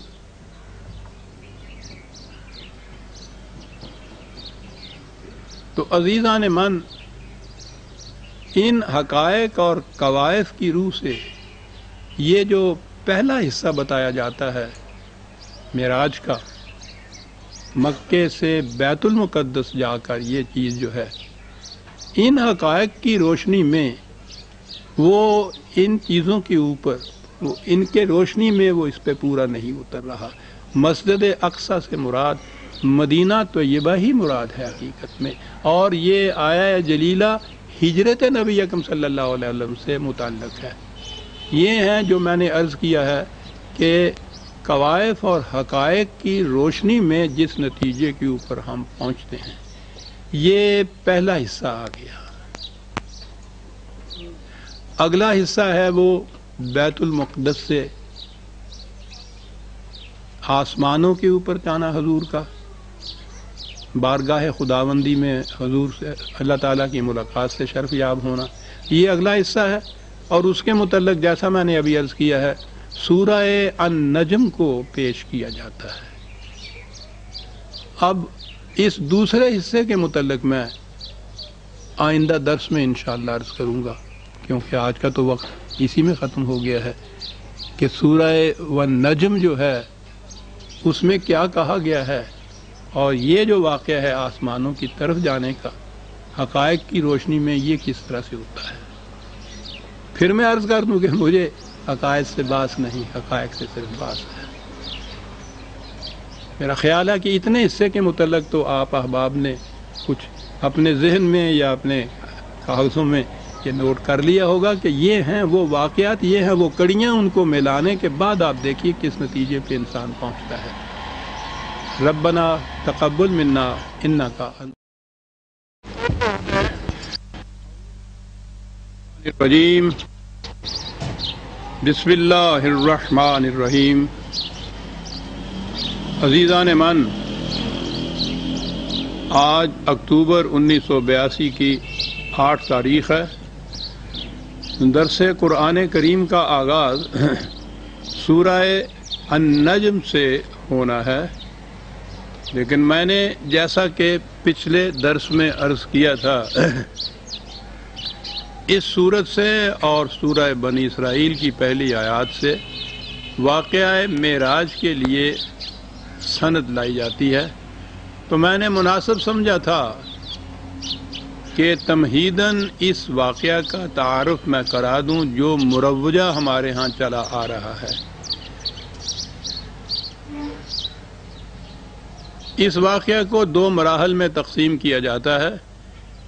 मरहला अव्वल नबी अकम सल्लल्लाहु अलैहि वसल्लम का मक्का मज़मा से बैतुलमक़दस या यरूशलम जाना। और मरहला दोम वहाँ से आसमानों की सैर करते हुए बारगाह खुदाबंदी में पहुँचना और वहाँ खुदा के साथ हम कलाम होना यानी अरश अजीम पे पहुँचना खुदा की मुलाकात के लिए, ये दूसरा मरहला था। पहले मरहले का ज़िक्र सबका दर्स में आ गया था। मैंने अर्ज़ किया था कि इस तफसील के लिए मुतकदमीन की तफसीरों में जाने की बजाय खुद हमारे दौर के ये जो मुफसर गुजरे हैं, हाल ही में जो इनका इंतकाल हुआ, सैयद अबुल मादूदी साहब तो उन्होंने जो सरगुजश्त पेश की है, वो मबनी है रवायात पर ही, तफासिर पर ही, लेकिन मैंने उन्हीं की ज़ुबान में इसे पेश करना ज़्यादा मुनासब समझा था। पहला मरहला पेश कर लिया था मैंने। उसके बाद, यानी हजूर वहाँ तशरीफ़ ले गए बैतुलमक़दस बैतुलमक़दस में अम्बिया कराम ने आपकी इमामत में, इकतदा में नमाज़ अदा की, और उसके बाद एक सीढ़ी आपके सामने पेश की गई। और जबरील इसके ज़रिए से आपको आसमान की तरफ़ ले चले। अरबी ज़ुबान में सीढ़ी को मेराज कहते हैं और इसी मुनासबत से ये सारा वाक़ मेराज के नाम से मशहूर है। तो अब ये दूसरा मरहला शुरू हुआ। इस सीढ़ी के ज़रिए जबरील हजूर को आसमानों की तरफ़ ले गए। तफसील इसकी ज़रा तवील है, लेकिन चूँकि ये मौजू सामने आ गया है तो मैं समझता हूँ कि वो तफसील भी इस सिलसिले में मुनासिब रहेगा कि वो भी आपके सामने आ जाए, वो भी मुतलक है इससे। पहले आसमान पर पहुँचे तो दरवाज़ा बंद था। ये तफसील दी हुई है मदूदी साहब ने मुहाफिज फरिश्तों ने पूछा, कौन आता है? जबरील ने अपना नाम बताया। पूछा, तुम्हारे साथ कौन है? जबरील ने कहा, मोहम्मद अलैहि वसल्लम। पूछा, क्या उन्हें बुलाया गया है? कहा हाँ। तब दरवाज़ा खुला। यानी आसमान का दरवाज़ा जो बंद था, उसके बाद फिर दरवाज़ा खुला। और आपका पुरतपाक खैर मखदम किया गया। यहाँ आपका तारफ़ फरिश्तों और इंसानी अरवाह की उन बड़ी बड़ी शख्सियतों से हुआ, जो इस मरहला पर मुकीम थीं। उनमें नुमाया शख्सियत एक ऐसे बुज़ुर्ग की थी, जो इंसानी बनावट का मुकम्मल नमूना थे। चेहरे, मोहरे और जिसम की साख्त में किसी पहलू से कोई नुक्स न था। यानी वो जिस्मानी शक्ल के अंदर, जिस्मानी पैकर में वहाँ मौजूद थे। इसलिए कहा ना कि चेहरे, मोहरे और जिस, जिसम की साख्त में किसी पहलू से कोई नक्स न था। जबरील ने बताया कि ये आदम हैं, आपके मोहरे से आला। इन बुज़ुर्ग के दाएँ बाएँ बहुत लोग थे। वो दाएँ जानब देखते तो खुश होते और बाएँ जानब देखते तो रोते। पूछा, ये क्या माजरा है? बताया गया कि ये नस्ल आदम है। आदम अपनी औलाद के नेक लोगों को देखकर खुश होते हैं और बुरे लोगों को देखकर रोते हैं। फिर आपको तफसीली मुशाहदा का मौका दिया गया। एक जगह आपने देखा कि कुछ लोग खेती काट रहे हैं और जितनी काटते हैं, काटते जाते हैं, उतनी ही वो बढ़ती जाती है। पूछा, ये कौन है? कहा गया कि ये खुदा की राह में जहाद करने वाले हैं। मैं इतना अर्ज़ कर दूँ कि ये उन्होंने रेडियो पे तकरीर की थी, फिर उसके बाद अपने यहाँ अपने पर्चे में जारी किया था। वो गया रेडियो पे मेराज की ये तफसील बताई गई थी। फिर देखा कि कुछ लोग हैं जिनके सर पत्थरों से कुचले जा रहे हैं। पूछा, ये कौन है? कहा गया कि ये वो लोग हैं जिनकी सरगरानी उन्हें नमाज़ के लिए उठने नहीं देती थी। कुछ और लोग देखे जिनके कपड़ों में आगे और पीछे पैबंद लगे हुए थे और वो जानवरों की तरह घास चर रहे थे। पूछा, ये कौन है? कहा गया, ये वो हैं जो अपने माल में से जक़ात, खैरात कुछ नहीं देते। फिर एक शख्स को देखा कि लकड़ियों का गट्ठा जमा करके उठाने की कोशिश करता है और जब वो नहीं उठता तो उसमें कुछ और लकड़ियाँ बढ़ा लेता है। पूछा, ये कौन अहमक है? कहा गया कि, ये वो शख्स है जिस पर अमानतों और जिम्मेदारियों का इतना बोझ था कि उठा न सकता था, मगर ये उनको कम करने के बजाय और ज़्यादा जिम्मेदारियों को का बार अपने ऊपर लादे चला जाता था। फिर देखा कि कुछ लोगों की जुबानें और होंठ कैंचियों से कतरे जा रहे हैं। पूछा, ये कौन है? कहा गया कि ये गैर जिम्मेदार मुकर हैं, जो बेतकल्लफ ज़ुबान चलाते और फितना बर्पा किया करते हैं। एक और जगह देखा कि एक पत्थर में ज़रा सा शगाफ हुआ और उसमें से एक बड़ा मोटा मोटा सा बैल निकल आया। फिर वो बैल उसी शगाफ में वापस जाने की कोशिश करने लगा, मगर न जा सका। पूछा, ये क्या मामला है? कहा गया कि ये उस शख्स की मिसाल है जो गैर ज़िम्मेदारी के साथ एक फितना अंगेज बात करता है, फिर नादम होकर उसकी तराफी करना चाहता है, मगर नहीं कर सकता। एक और मकाम पर कुछ लोग थे जो अपना गोश्त काट काट कर खा रहे थे। पूछा, ये कौन है? कहा गया, ये दूसरों पर ज़ुबान तान दराज करते हैं। इस इन्हीं मराहल में से आप गुजरते हुए आगे चले गए, इसी किस्म की और मिसालें दी गई हैं इन मुशाहदों की, और उसके बाद इस मरहला से गुजर कर आप दूसरे आसमान पर पहुँचे। यहाँ के अकाबर में दो नौजवान सबसे मुमताज़ थे। तारफ पर मालूम हुआ कि ये याहिया और ईसा अलैहिस्सलाम हैं। तीसरे आसमान पर आपका तारुफ एक बुज़ुर्ग से कराया गया, जिनका हुस्न आम इंसानों के मुकाबले में ऐसा था जैसा तारों के मुकाबले में चौंदवी का चाँद। मालूम हुआ ये यूसुफ अलैहिस्सलाम हैं। चौथे आसमान पर हज़रत इदरीस, पाँचवें पर हज़रत हारून, छठे पर हज़रत मूसा आपसे मिले, सातवें आसमान पर पहुँचे तो एक अजीम अजीमुशान महल बैतुल मामूर देखा, जहाँ बेशुमार फरिश्ते आते और जाते थे। उसके पास आपकी मुलाकात एक ऐसे बुज़ुर्ग से हुई, उसके बाद ये लफ्ज़ होगा। ऐसे बुज़ुर्ग से हुई, जो खुद आपसे बहुत मुशाबा थे। तारफ बार मालूम हुआ कि हज़रत इब्राहीम सलाम हैं। फिर आगे बात चलती है। फिर मज़ीद इरतका शुरू हुआ। यहाँ तक कि आप सिदरतुलमतहा पर पहुँच गए।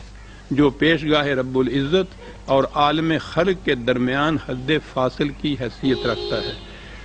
नीचे से जाने वाले यहाँ रुक जाते हैं और ऊपर से अहकाम और फरामीन बरह रास्त यहाँ आते हैं।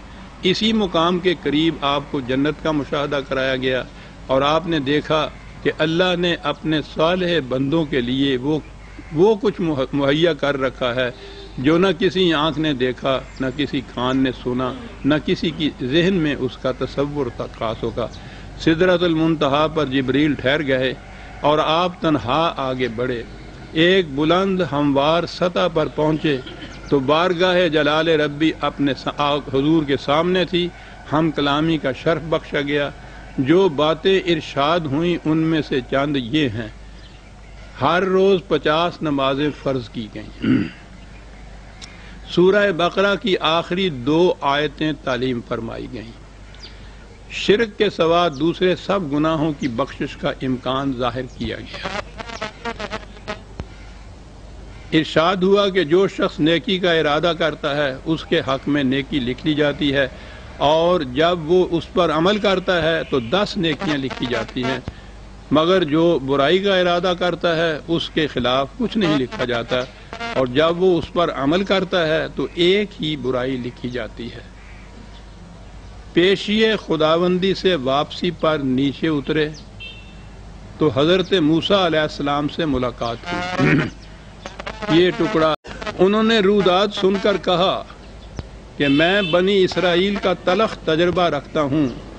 मेरा अंदाज़ा ये है कि आपकी उम्मत पचास नमाजों की पाबंदी नहीं कर सकती। खुदा ने पचास नमाजें फ़र्ज़ की थी। हजूर उनको लेके तोहफ़ा के तौर पर नीचे उतरे हैं। हज़रत मूसा से मिले तो उन्होंने ये कहा कि ये आपकी उम्मत पचास नमाज़ों की पाबंदी नहीं कर सकेगी। जाइए और कमी के लिए अर्ज़ कीजिए। आप गए और अल्लाह जल शाह ने दस नमाजें कम कर दी। पलटे तो हज़रत मूसा ने फिर वही बात कही। उनके कहने पर आप बार बार ऊपर जाते रहे और हर बार दस नमाजें कम की जाती रहीं। आखिर पाँच नमाजों की फजीयत का हुक्म हुआ और फरमाया गया कि यही पचास के बराबर हैं। मदूद मरहूम ने यहाँ आगे वो बात नहीं लिखी। ये बुखारी की रवायत है और उसके बाद बुखारी में ये लिखा है कि जब हज़रत मूसा ने कहा कि फिर जाइए, ये पाँच भी नहीं पढ़ी जाएँगी उम्मत से तो आपने कहा कि मुझे तो अब जाते हुए शर्म आती है, इसलिए मैं पाँच ही लेके चला जाता हूँ। वापसी के सफ़र में आप उसी सीढ़ी से उतरकर बैतुल मकदस आए। यहाँ फिर तमाम पैगंबर मौजूद थे। आपने उनको नमाज़ पढ़ाई और जो गालिबा फजर की नमाज़ थी, फिर बुराक पर सवार हुए और मक्का वापस पहुँच गए। ये दूसरा मरहला है। इस सफ़र का, इस वाक़ का। ये अहादीस की जो सही तरीन किताबें शुमार की जाती हैं, उन सब में है तफासिर में है, उन्हीं से इन्होंने लिया है। आगे ये भी उनमें यह है कि आपस आप मक्के तशरीफ़ लाए, सुबह ये बात बयान की तो कुफार ने मज़का उड़ाया। बल्कि यहाँ तक भी इन्होंने तो लिखा है कि आनन फानन ये खबर तमाम मक्का में फैल गई, बहुत से मुसलमान उसको सुनकर इस्लाम से फिर गए।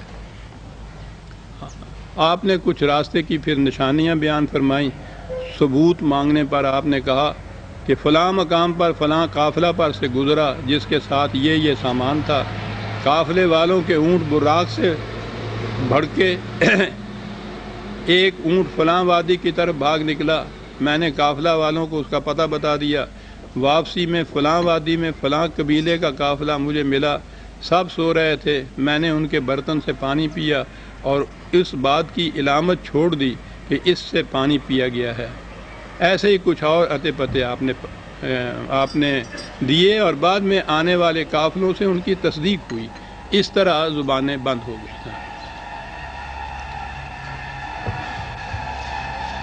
मैंने साहब का दर्श में भी अर्ज़ किया था कि मुझे इस बयान करदा वाक़ पर कोई तबसरा नहीं करना। बताना सिर्फ़ ये है कि ये है वो मराज के मतलब वो बात जो चली आ रही है और इसे हजूर की शान में बहुत बड़ी अजमत मानी जाती है। बातें इसमें दो हैं गौर तलब पहले ये दीजिए कि कहा यह गया है और ये एक मुसलमे के तौर पर चला आ रहा है हमारे यहाँ कि नबी अकम सल्लल्लाहु अलैहि वसल्लम मक्के में मबूस हुए हज़रत इब्राहीम अलैहिस्सलाम के औलाद में से थे, कुरैश से मक्के के रहने वाले थे, काबा वहाँ था।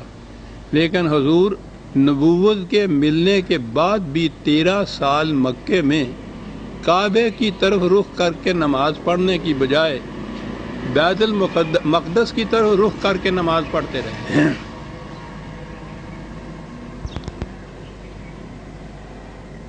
यहाँ बात यूँ बनी रही कि अगर काबे के एक सिमत में खड़े हो के नमाज़ पढ़ते तो काबा भी सामने आ सकता था, और रुख ऐसा था कि बैतुल मुक़द्दस भी उसी रुख पे पड़ता था। इसलिए दोनों एक सिमत में पढ़ते थे तो कोई बात दिल में कशमकश की नहीं पैदा होती थी। मदीना तशरीफ़ लाए तो वहाँ शक्ल ये थी कि मक्का अगर मसलन जनूब की जानब था तो बैतुल मकदस शुमाल की जानब था। मैं अर्ज़ कर रहा हूँ, दो मुतजाद सिमतों में, दरमियान में मदीना, पीछे की तरफ़ मक्का, इधर की तरफ़ बैतुल मकदस। अब नमाज़ पढ़ते वक्त हजूर के दिल में बड़ा इस तरह पैदा होता था। बैतुल मकदस की तरफ़ रुख करते थे तो पीठ मक्के की तरफ़ हो जाती थी। तो आप पढ़ते रहे, बैतुल मकदस की तरफ़ मुँह करके ही दो साल या तीन साल इतना अरसा बताया जाता और उसके बाद फिर किबला की, काबे की तरफ़ रुख करने का खुदा का हुक्म हुआ, और वो ऐसे हुआ कि एक दिन आप जोहर या असर की नमाज़ एक मस्जिद में, अपनी मस्जिद नबवी में नहीं, बल्कि कोई बाहर मस्जिद है। उस मस्जिद में नमाज़ पढ़ रहे थे, बाजमात, सहाबा पीछे थे तो दो रकतें गालबन पढ़ चुके तो ऐन हालत नमाज़ में हुक्म आया कि काबे को अपना किबला मुकर कीजिए। तो आपका रुख तो बैतुलमक़दस की तरफ़ था। तो मैंने अर्ज़ किया है कि वो तो बिल्कुल उसकी अपोजिट साइड में पड़ता था ना। तो हुक्म जब आया तो फिर आप इमाम आगे खड़े थे ना? वो जो पीछे उम्मत, जो जमात में जो उम्मती थे, उम्मत के अहबाब सहाबा के बाद उनके लिए तो ये आसान था कि वहीं से उन्होंने रुख बदला तो दूसरी तरफ़ हो गया। लेकिन इमाम के लिए तो ये मुश्किल था। तो हजूर वहाँ से आप सोचिए ना कि सारी जमात का चक्कर काट के दूसरी तरफ़ तशरीफ़ लाए तो वहाँ फिर आप इमाम के मुकाम पर खड़े हुए तो फिर मक्का की तरफ़ या काबे की तरफ़ रुख हुआ आपका और बाकी नमाज़ इस तरह से पढ़ी। यूँ तफसील बयान की जाती है, इस तहवील किबला इसे कहते हैं, यानी किबला का की सिमत का बदलना। चुनाचे वो मस्जिद जू किबला तैन कहलाती थी। दो किबलों वाली मस्जिद। उसमें दोनों तरफ़ महराब बने हुए थे। एक महराब काबे की जानब, एक महराब बैतल मकदस की जानब। इसीलिए उसको दो किबलों वाली मस्जिद कहते थे। तो अभी थोड़ा अरसा पहले तक जो हाजी वहाँ से आते थे, वो बताते थे कि वहाँ महराब थे। मैं जो वहाँ हाज़िर हुआ हूँ तो देखा कि अब वहाँ वो जो बैतुल मकदस की सिमत का महराब है, वो महराब नहीं, उसकी बजाय वहाँ महराब जैसी एक लकीर, निशानी खींच दी गई है। तो बताने के लिए कि पहला किबला ये था और दूसरा ये है। पहली चीज़ तो ये काबिल गौर है। कि नबी अकम वसल्लम मैंने अर्ज़ किया कि ज़ुर्रियत इब्राहिमी में ही इसे नहीं है मिलत इब्राहिमी में से भी है। नबूवत से पहले भी आप अरब के बाशिंदे हैं, कुरैश की मुमताज़ शख्सियत हैं। और ये काबा सारे अरब का मरकज़ था और कुरैश का तो वाजिब इज़्ज़त और शर्फ मकाम था। कुरैश की होने की हैसियत से काबे की तौलीत भी इनके पास थी। काबे का नज्म नस्ब भी इनके पास था। और इनकी वजह से इनकी बड़ी इज़्ज़त थी तमाम अरब के अंदर। कुरान ये बताता है कि काबे के साथ नस्बत की बिना पे कैफियत यह थी कि बाकी लोगों के काफिले दिन दहाड़े लूटे जाते थे और इनके काफिलों की तरफ़ कोई नज़र उठा के भी नहीं देखता था। इतनी, इतना एहतराम, इतना अजमत था काबे की तरफ़ नस्बत से। नबी अकम अलैहि वसल्लम वहाँ पैदा होते हैं। नबूवत से पहला दौर इस तरह गुजारते हैं। नबूवत के बाद नमाज़ शुरू करते हैं तो अपना रुख बैतल मकदस की तरफ़ करते हैं। तेरह साल मक्के के दो तीन साल मदीने के नबूवत के दौरान रुख बैतल मकदस की तरफ़ किया जाता है। यहूदियों का किबला और जो अब खुद इनकी तहकीक के मुताबिक भी जो उस ज़माने में वहाँ मौजूद ही नहीं था। मैंने पहले अर्ज़ किया है ना कि वो हैकल सुलेमानी या मस्जिद सुलेमानी या बैतुल मकदस का मकाम इबादत गाह के तौर पर मौजूद ही नहीं था। उसके खंडरात थे। ईसाइयों का गिरजा था वहाँ। ईसाई वहाँ गलादत डालते थे, जिसे हज़रत उमर रज़ी तु ने अपने दौर में जब फतह किया यरूशलेम तो उसको जाके खुद साफ़ किया था। तो उस बैतुल मकदस की तरफ़ इन रवायात की रूह से हजूर रुख करके नमाज़ पढ़ते रहे। बहसीत नबी के तेरह और दो तीन पंद्रह सोलह साल। गौर फरमाया आपने कि काबे के मुकाबले में बैतुल मकदस की अजमत कितनी बढ़ गई? मिराज का वाक़ हुआ तो वो हजूर काबे से आसमान की तरफ़ तशरीफ़ नहीं ले गए। कहा गया कि काबे में आप सो रहे थे। इसमें भी बड़ा इख्तलाफ है रवायात में। रवायात के इख्तलाफ तो आप पूछिए नहीं। वहाँ तो एक नमाज़ को लीजिए तो इतने इख्तलाफात मिलते हैं। ये तो एक वाक़ था। कहीं ये है कि हजूर अपनी चचाजाद बहन हज़रत उम्म हानि के घर में सो रहे थे। कहीं ये है कि काबे में थे। ये कब का वाक़ है? तारीखें इसके मुतलक मुतद मिलती हैं इन रवायात के अंदर। बहरहाल इस किस्से को छोड़ दीजिए। काबे से नहीं आप गए। काबे में सो रहे थे। काबे से पहले बैतुल मकदस में बर्राक के ज़रिए गए हैं। बैतुल मकदस से फिर गए हैं अर्श की तरफ़। वापस भी वहीं आए, वहाँ से फिर बुराक से मक्के में। तो दूसरा मकाम बैतुल मकदस को ये हासिल हो गया काबे के मुकाबले में। बड़ी गौर तलब चीज़ें हैं ये। खुदा हुक्म देने वाला के पचास नमाजें रसूल अल्लाह उसको तोहफतन कबूल करके वापस आने वाले नीचे फिर वही यहूदियों के पैगंबर हज़रत मूसा वो आपसे कह रहे हैं कि ये क्या हुक्म ले आए हैं आप? आपकी उम्मत से ये नहीं पढ़ी जाएँगी। माजल्ला, ना खुदा जिसने हुक्म दिया, उसको इसका एहसास हुआ कि ये नहीं पढ़ी जाएँगी। ना हजूर जिन्होंने ये तोहफा कबूल किया, उन्हें इसका एहसास कि नामुमकिन अमल है। एहसास दिलाया हज़रत मूसा ने। और उसके ऊपर आपने वो बात मानी तो फिर तशीफ ले गए। उस पर खुदा ने भी वो जैसा कहते हैं कि दस काम कर दी। खुद ही अपने हुक्म में तब्दीली की हज़रत मूसा के मशवरे से।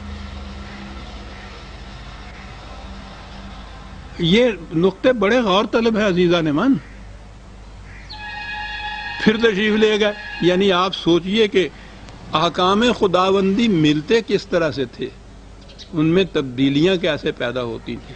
हजूर का मकाम हज़रत मूसा के मुकाबले में क्या रहा?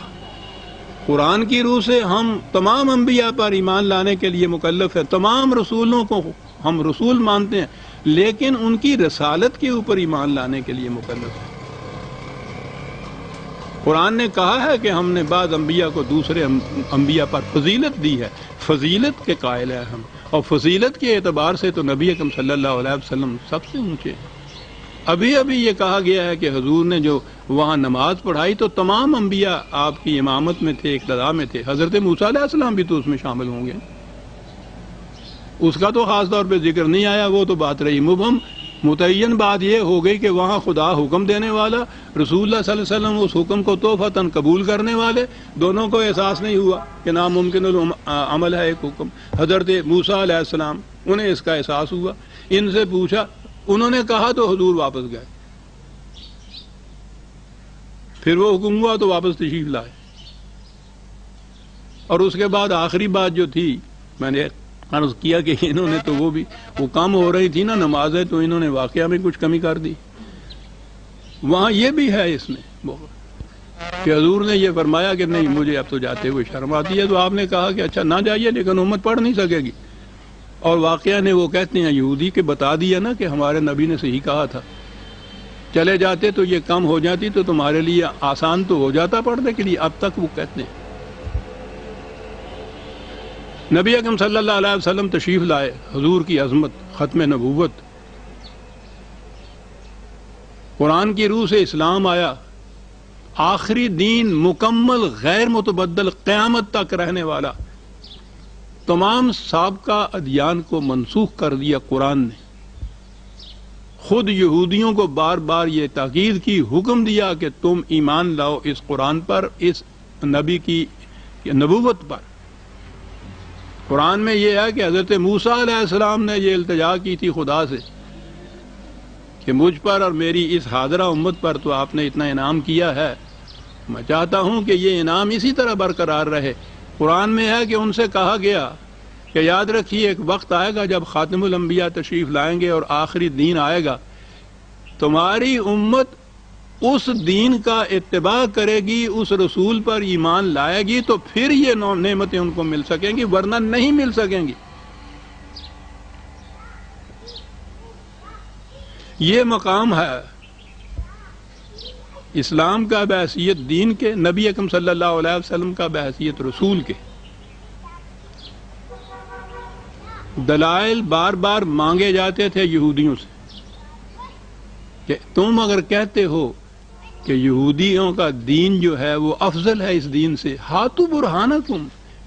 क्योंकि उन्हें कहा जाता था कि ईमान लाना होगा तुम्हें, नजात और शहादत के लिए। इस कुरान पर, इस नबी पर, इस इस्लाम पर ईमान लाना होगा। वो कहते थे कि हमारा दीन, हमारा मज़हब जो है वो इससे अफजल है। उनसे कहा जाता था कि दलील लाओ इसके लिए। दलाइल की रूह से तो कोई दीन भी अफजल इस्लाम से साबित नहीं हो सकता। ला बुरहाना लोगों कुरान ने साथ दावे के कह दिया था कि इनके पास कोई दलील नहीं होगी इसकी। दलाइल की रूह से तो वो अफजल साबित ना हो सका, न हो सकता था। तो आप और फरमाइए कि आपकी कुतब अहादीस में ये ये सारी रवायात दर्ज हुई हैं, जिसमें बैतुल मकदस का ये मकाम काबे के मुकाबले में, हज़रत मूसा का ये मकाम रसूल वसल्लम के मुकाबले में खुद ब खुद ही वो ऊँचा हो गया।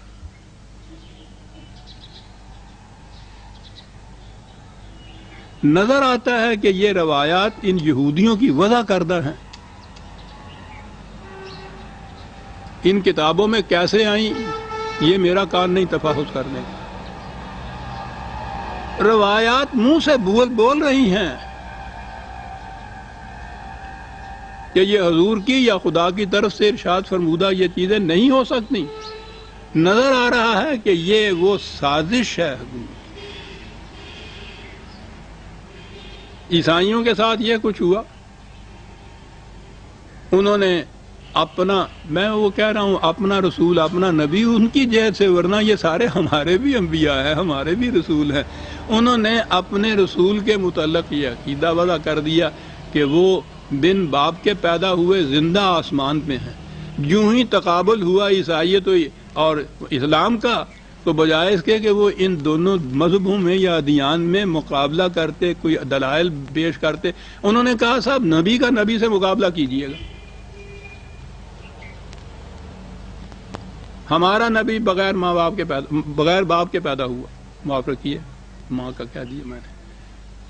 आपका नबी तो आम बच्चों की तरह माँ बाप के ज़रिए से, बाप के ज़रिए पैदा हुआ। नबी का नबी से मुकाबला कर लीजिए। हमारा नबी आसमान पे ज़िंदा मौजूद है, क्यामत तक ज़िंदा रहेगा। तुम्हारा नबी तह खाक है। गौर फरमाया आपने? अब अगर ये उनका दावा होता तो हम ये कहते हैं कि मियाँ, ये तुम्हारा दावा है, हमारा तो नहीं, ये सारे दावी जो थे, वो आपकी कुतब रवायात के अंदर दर्ज कर दीजिए। अब आपके यहाँ हयात वफात मसीह और हज़रत ईसा की पैदाइश, ये जो वाक़ात ईसाइयों का अकीदा है, वो आपके यहाँ के अकायद ऐसे बन गए हैं कि इससे इनकार करने वाला उसको दायरा इस्लाम से खारिज कर देते हैं ये लोग।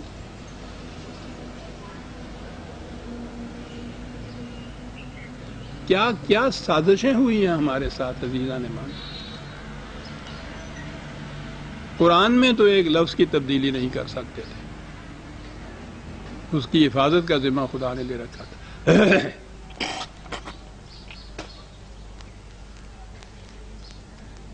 आसान ये था कि इस किस्म की रवायात वजह की जाएँ और फिर उसके बाद अब उस ज़माने में छापे खाने तो थे नहीं कि कोई छपा हुआ मुस्तंद नुस्खा बुखारी का, मुस्लिम का कहीं वो हो और मौजूद पड़ा हुआ हो, या उनके यहाँ का मुरतब करदा ही कोई हो। मालूम नहीं। किस तरह उनमें आई। लेकिन बहरहाल, ये जो हज़ार साल से आपके यहाँ ये किताबें पढ़ाई जाती हैं, आज भी ये हैं, उन तमाम में ये रवायात मौजूद हैं।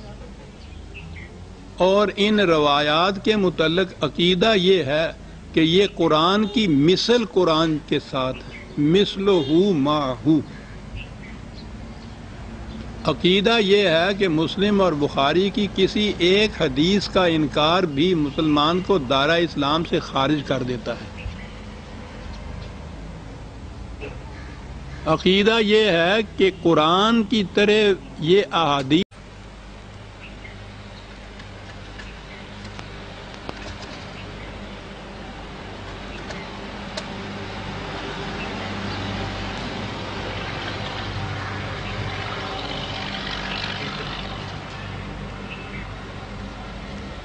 अकीदा ये है कि अगर कुरान और इन रवायात में कोई तजाद नज़र आए तो पहले तो ये कोशिश करो कि कुरान की आयत किसी तरह से तवील करके हदीस के मुताबिक बना दी जाए। और अगर ऐसा ना हो तो ये समझो कि कुरान की आयत मनसूख है, हुक्म हदीस का रहेगा। ये अकायद हो गए इन रवायत अब इन अकायद की रूह से आप देख लीजिए कि यहूदियों के माबद इबादत गाह उनका मरकज जो था, उसका क्या मकाम है? जिस नबी को वो अपना नबी कहते हैं, उस नबी का मकाम क्या है? आपके काबे और आपके रसूल के मुकाबले में।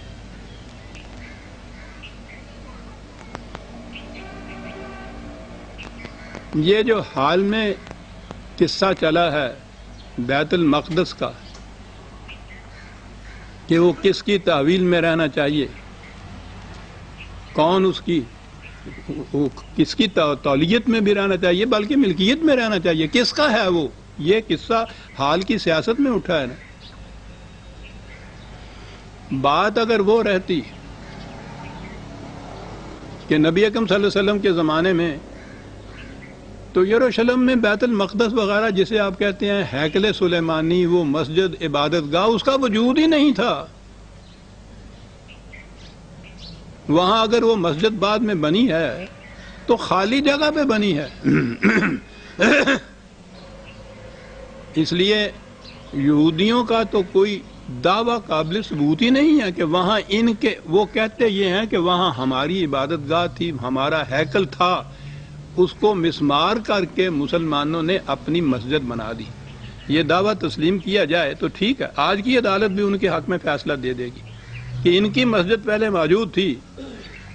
उन्हें मिसमार किया मुसलमानों ने और बाद में बनाई अपनी। तो अव्वली हक तो इनका है। लेकिन आपके यहाँ तो अकीदा ये हुआ कि रसूल्ला के सलम के ज़माने में बैतुल मकदस मौजूद था, हैकल सुलेमानी मौजूद था, वो इबादत गाह थी। हजूर वहाँ तशरीफ़ ले गए, वहाँ जाके नमाजें पढ़ी, वहाँ से आसमान की तरफ़ तशरीफ़ ले गए। तो वहाँ तो आप कहते हैं कि ये मौजूद थी, और फिर उसके बाद मौजूद नहीं रही। उसकी जगह वहाँ मस्जिद आ गई। खा वो बनी उमैया के ज़माने की, अब्दुल मलिक के ऐद की सन बहत्तर, हिजरी की बनी हुई क्यों ना?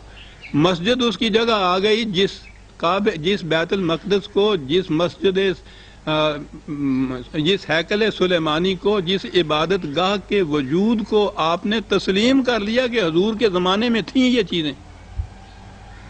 बाद में वो ना रही, उनकी जगह मस्जिद आ गई। कितना दावा उनका मज़बूत कर दिया आपने कि हक हमारा है, इनका नहीं है। इन्होंने इंक्रोचमेंट की है हमारी मस्जिदों को हमारे हैकल को मिसमार करके अपनी मस्जिद बनाई है। सबूत बहम पहुँचा दिया मैं फिर दोहरा दूँ वो जो मैंने पिछली दफ़ा अर्ज़ किया था कि सितंबर उनसठ में ही उनहत्तर में, माफ़ रखिएगा एक मिनट के लिए।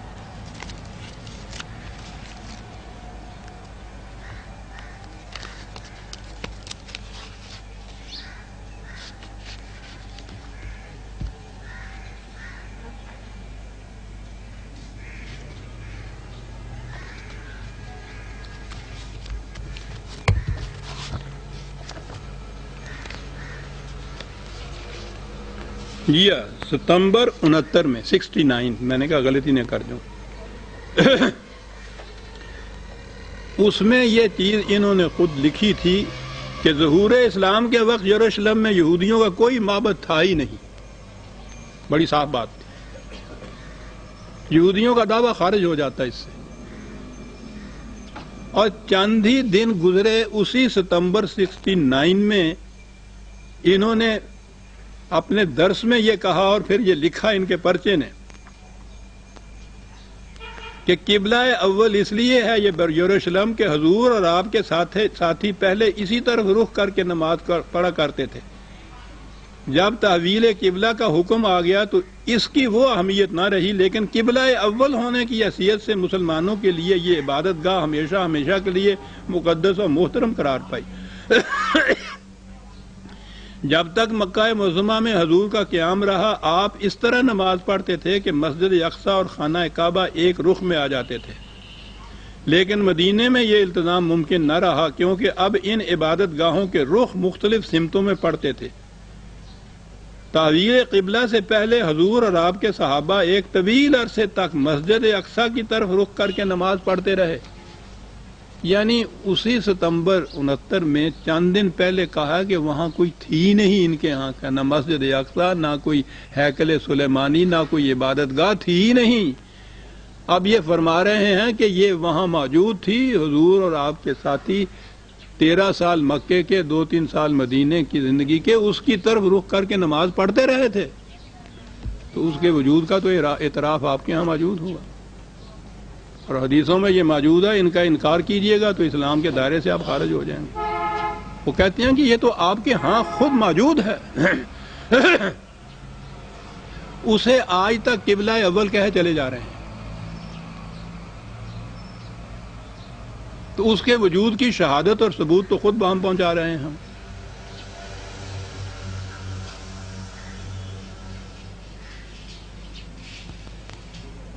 आप गौर कीजिएगा कि ये चीज़ें किस तरह हमारी रवायात में दखल हुई। कुरान करीम में ना बैतुल मकदस को किबला बनाने का कोई ज़िक्र है, ना तहवील किबला का। जब पहले उसको बनाने का ही ज़िक्र नहीं तो उसको छोड़कर कावे को किबला बनाने का सवाल ही पैदा नहीं होता। वो तो पहले दिन से था। यही नहीं था हजूर के जमाने में। उसके मुतलक तो अल्लाह ताला ने कहा इन्ना इन्ना अव्वला बैतन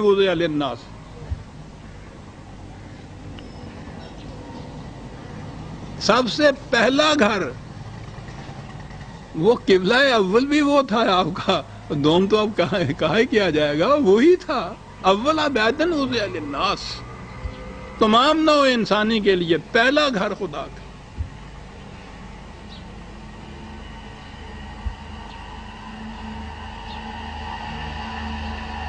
इन हकायक की रोशनी में अजीज़ा ने माना, आप सोच लीजिए कि ये जो पहला मरहला बयान कर लिया जाता है हजूर को मक्के से बैतुल मकदस पहुंचाकर वहाँ से आगे हजूर को मेराज सीढ़ी के ज़रिए आसमानों की तरफ़ पहुँचाया जाता है।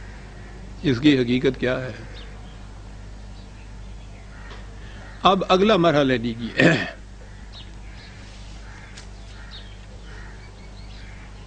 खुदा को मिलने के लिए यहाँ से किसी खास मुकाम में पहुँचना जो सात आसमानों के ऊपर है, वो अर्श है, खुदा वहाँ होता है। ये जरा लतीफ सा नुकता है, इस पर जरा गौर कीजिएगा। खुदा किसी खास मुकाम में बैठा हुआ है। स्पेस इससे बात समझ में बात आएगी। स्पेस या मकान या जगह तो हमेशा किसी ना किसी मटेरियल चीज़ जैसे कहते हैं। अब मादी चीज़ के लिए ज़रूरी होती है। मादा जगह घेरता है और चौथी पांचवी में ये पढ़ाया जाता था जब। मादा जगह घेरता है।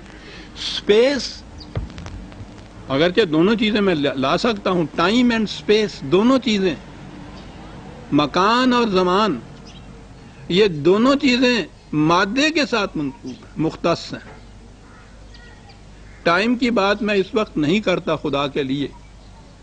उसने तो अल्लाह की ज़ात को खुदा ने अपने आप को इन मकान और जमान की नस्बतों से बुलंद और बाला मुर्रा और मज़ा रखा, वल अव्वल वल आखिर वल ज़ाहिर वल बातिन।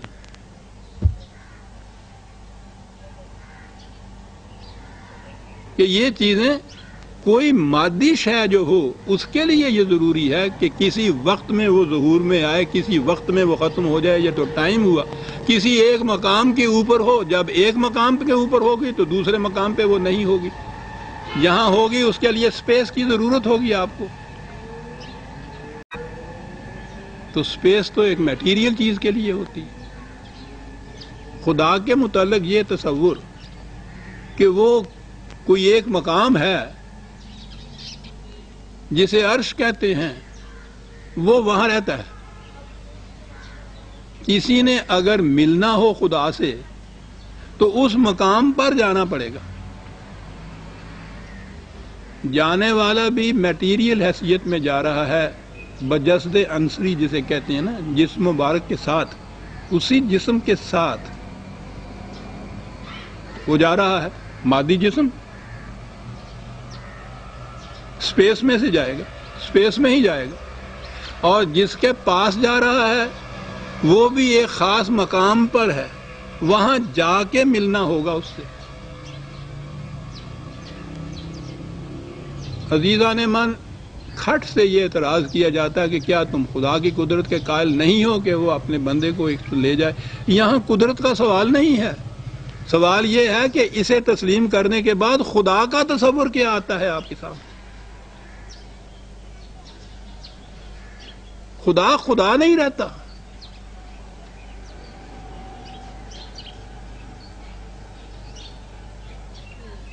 इस अंदाज से ये जो आप कहते हैं, शर्फ मुलाकात हुई, हजूर तशीफ ले गए, ये इसलिए इससे इनकार किया जाता है कि ऐसा मान लेने से खुदा को एक खास जगह पे महदूद मानना पड़ता है। और अव्वल तो ये खुदा के तस्वरी के खिलाफ है और कुरान में तो हर मकाम के मुख्तलिफ़ मकाम में आप देखेंगे कि वो क्या कहता है। एजा साला का इबादा अन्नी, लीजिए, दो बटा एक सौ छियासी। वाइजा साला का इबादी अन्नी फ़न्नी करीब। मेरे मुतलक मेरे बंदे पूछते हैं तो उनसे कहो कि मैं कहीं अर्शों पे नहीं बैठा हुआ। इन्हीं करीब मैं पास ही। हूँ कितना पास?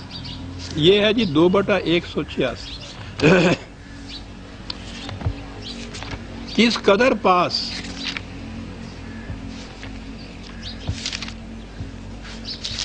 पचास बटा सोलह। व नाहनो अकरबो इलेह मिन हबलिल वरीद उसकी रगे जान से भी ज़्यादा करीब उसे अकरब। इंसान की रगे जान से भी ज़्यादा करीब।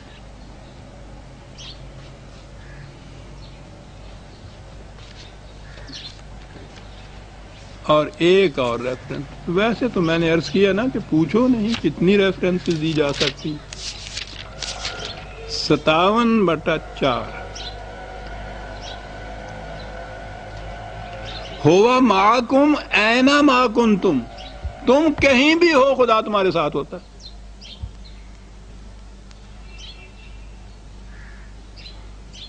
वो तो जब नबी अकम सल्लल्लाहु अलैहि वसल्लम मक्के में तशरीफ़ रखते थे उस रात खुदा वहाँ भी उसको आपके साथ था। इनके कहने के मुताबिक अगर बैतुल मकदस में आए हैं तो उस वक्त भी साथ था। यहाँ से जहाँ कहते हैं, वो तो हुआ माकुम, ऐना माकुम तुम। तुम कहीं भी हो, वो तुम्हारे साथ होता। तो जो हर वक्त साथ है, रगे जान से भी ज़्यादा करीब है उसको मिलने के लिए किसी खास मकाम पर जाना। इस तस्वर को बातल करार दे देता है। ये दो मुतजाद तस्वर हैं कि जहाँ तुम हो, वो तुम्हारे साथ है, रगे जान से भी करीब तर, और उसके साथ ही ये कि नहीं, वो यहाँ नहीं, वो अर्श पर बैठा हुआ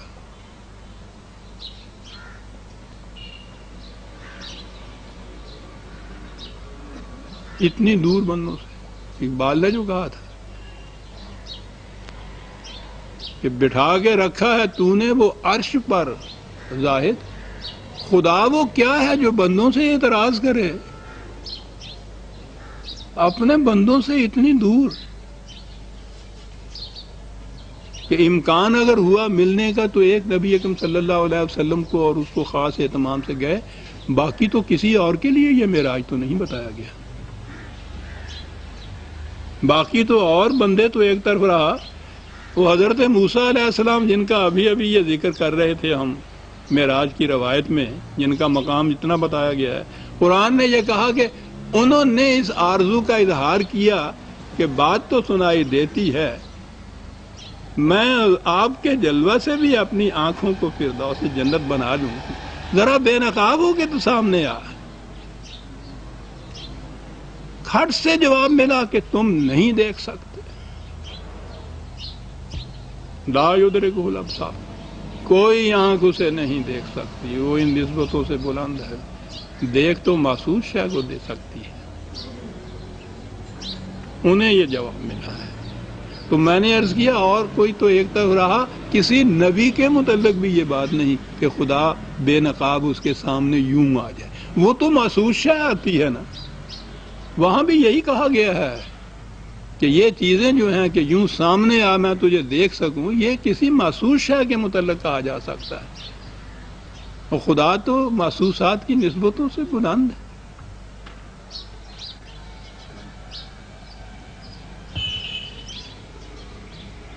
इसलिए इस पे ये जो एतराज़ पड़ता है ना, इस दूसरे मरहले के ऊपर कि इस तरह से आप तशरीफ़ लिए गए। वो ये है, इसमें ये सवाल नहीं कि खुदा को ये कुदरत हासिल है या नहीं। और फिर इनके यहाँ के तो सब दलाल पूछिए नहीं क्या होते हैं दलाल। इनको, इन, इन्हें तो कोई तिनके मिल जाए, उसके ऊपर से हाथी गुजारते हैं साहब। ये हवाई जहाज़ नए नए चले। कहने के आप देखिए साहब, किस तरह से आम इंसान ज़मीन से इतनी बुलंदियों के ऊपर चला जाता है। तो अगर इस तरह से चला जाता है तो एक इंसान खुदा की कुदरत से अर्श पर क्यों नहीं चला जाता? चाँद पे चले गए तो पहले तो खैर इनकार ही करते रहे कि मुमकिन ही नहीं है। जिन्होंने माना, उन्होंने इसे बहसीत बतौर दलील के पेश किया कि एक इंसान अगर चाँद पर जा सकता है तो खुदा की कुदरत से एक इंसान अर्श तक क्यों नहीं पहुँच सकता? मेरे भाई, इतराज ये नहीं है कि खुदा की कुदरत से ऐसा मुमकिन है या नहीं। सवाल सारा ये है, और अजमत जो है, कुरान करीम की बुनियादी अजमत यह है कि जो तस्वुर खुदा का कुरान ने दिया है, दुनिया में कहीं और ये तस्वुर नहीं मिलता अजीजा ने। इस किस्म का मादी आलाइशों से मुनजा और मुर्रा और बुलंद और बाला बरतर ख्यास ख्याल हो गुमान, वहम।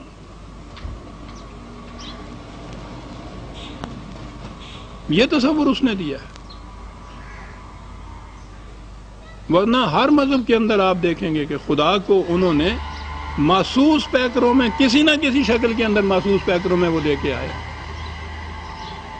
कभी बुतों की शक्ल में आता है, कभी वो अवतारों की शक्ल में आता है, कभी वो खुदा के बेटे की शक्ल में आता है, कभी वो तौरात में इन बादलों में आतशी रियत की तलवार हाथ में लिए हुए फरिश्तों के साथ उतरता है। हर जगह आप देखेंगे कि महसूस पैकरों के अंदर वो खुदा सामने आता है। ये तस्वुर कुरान का कि कोई आँख उसका इतराक नहीं कर सकती। और वो तुम्हारे साथ है जहाँ तुम हो। जिस जगह भी तुम हो। रगे जान से भी करीब तर। और इसके बाद क्योंकि महसूसात की कोई शय उसमें नहीं है, वो आँख तो एक तरफ़ रही, इधर आके इंसानी में भी नहीं आ सकता। इंसान के जहन में भी वही चीज़ आएगी जो किसी ना किसी तरह मादी पैकर की शक्ल अख्तियार कर ले।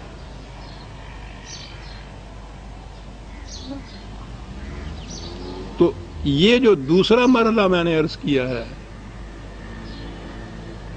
उसके खिलाफ ये एतराज़ पड़ता है कि उससे खुदा का वो मुनज़ा और मुर्रा तस्वुर बाकी नहीं रहता जिस, जो खसूसियत है कुरान की खुदा के तस्वुर के बारे में। किसी खास मुकाम पर खुदा का रखना और वहाँ जाके उसको मिलना,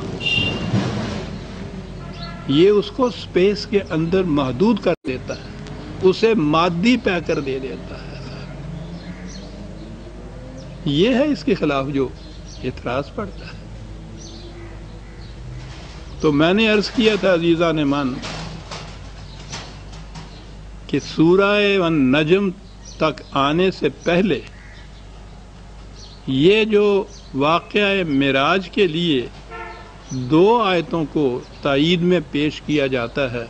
एक सूरह बनी इसराइल की सुबहान अल्लाह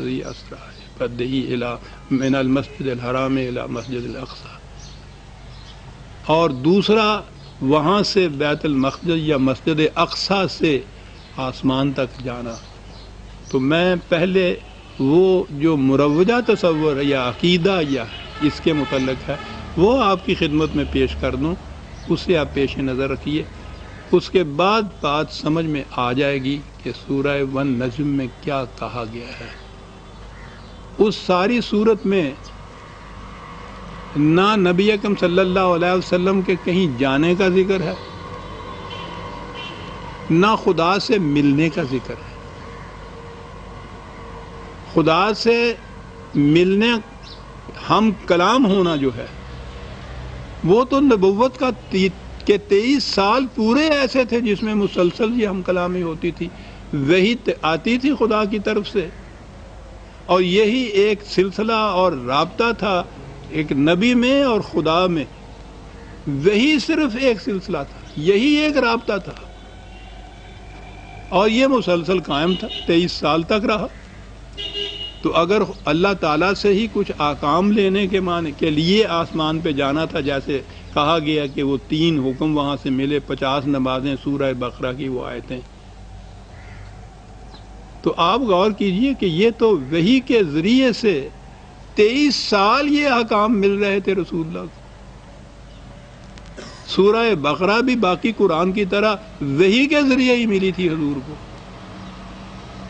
ये कि उसके यहाँ से कोई करीबन शायद दो सौ छियासी आयतें हैं, बाकी सारी वही के ज़रिए से और आखिरी दो ये कहना कि बर रास्त हजूर वहाँ गए तो मिली। सारे कुरान के मुतलक ये है कि पूरा कुरान वही के ज़रिए से मिला। ये भी वही के ज़रिए से मिली। तो ये है वो कुर्ब जो नबी को हासिल होता है। नबी के मुतलक भी हमारे यहाँ जैसा मैंने पहले भी अर्ज़ किया है, एक गलत तस्वुर है। ये यहूदियों के यहाँ ये तस्वुर था कि नबी पेशीन गोइयाँ करते हैं। और ये उनके हैकल में एक मनसब था परोहतों में से एक बहुत बड़ा परोह जो था, उसका मनसब था ये। वो पेशीन गोइयाँ करता था, किस्मतें बताता था, तकदीर के हाल बताता था। वो उसको नबी कहते थे।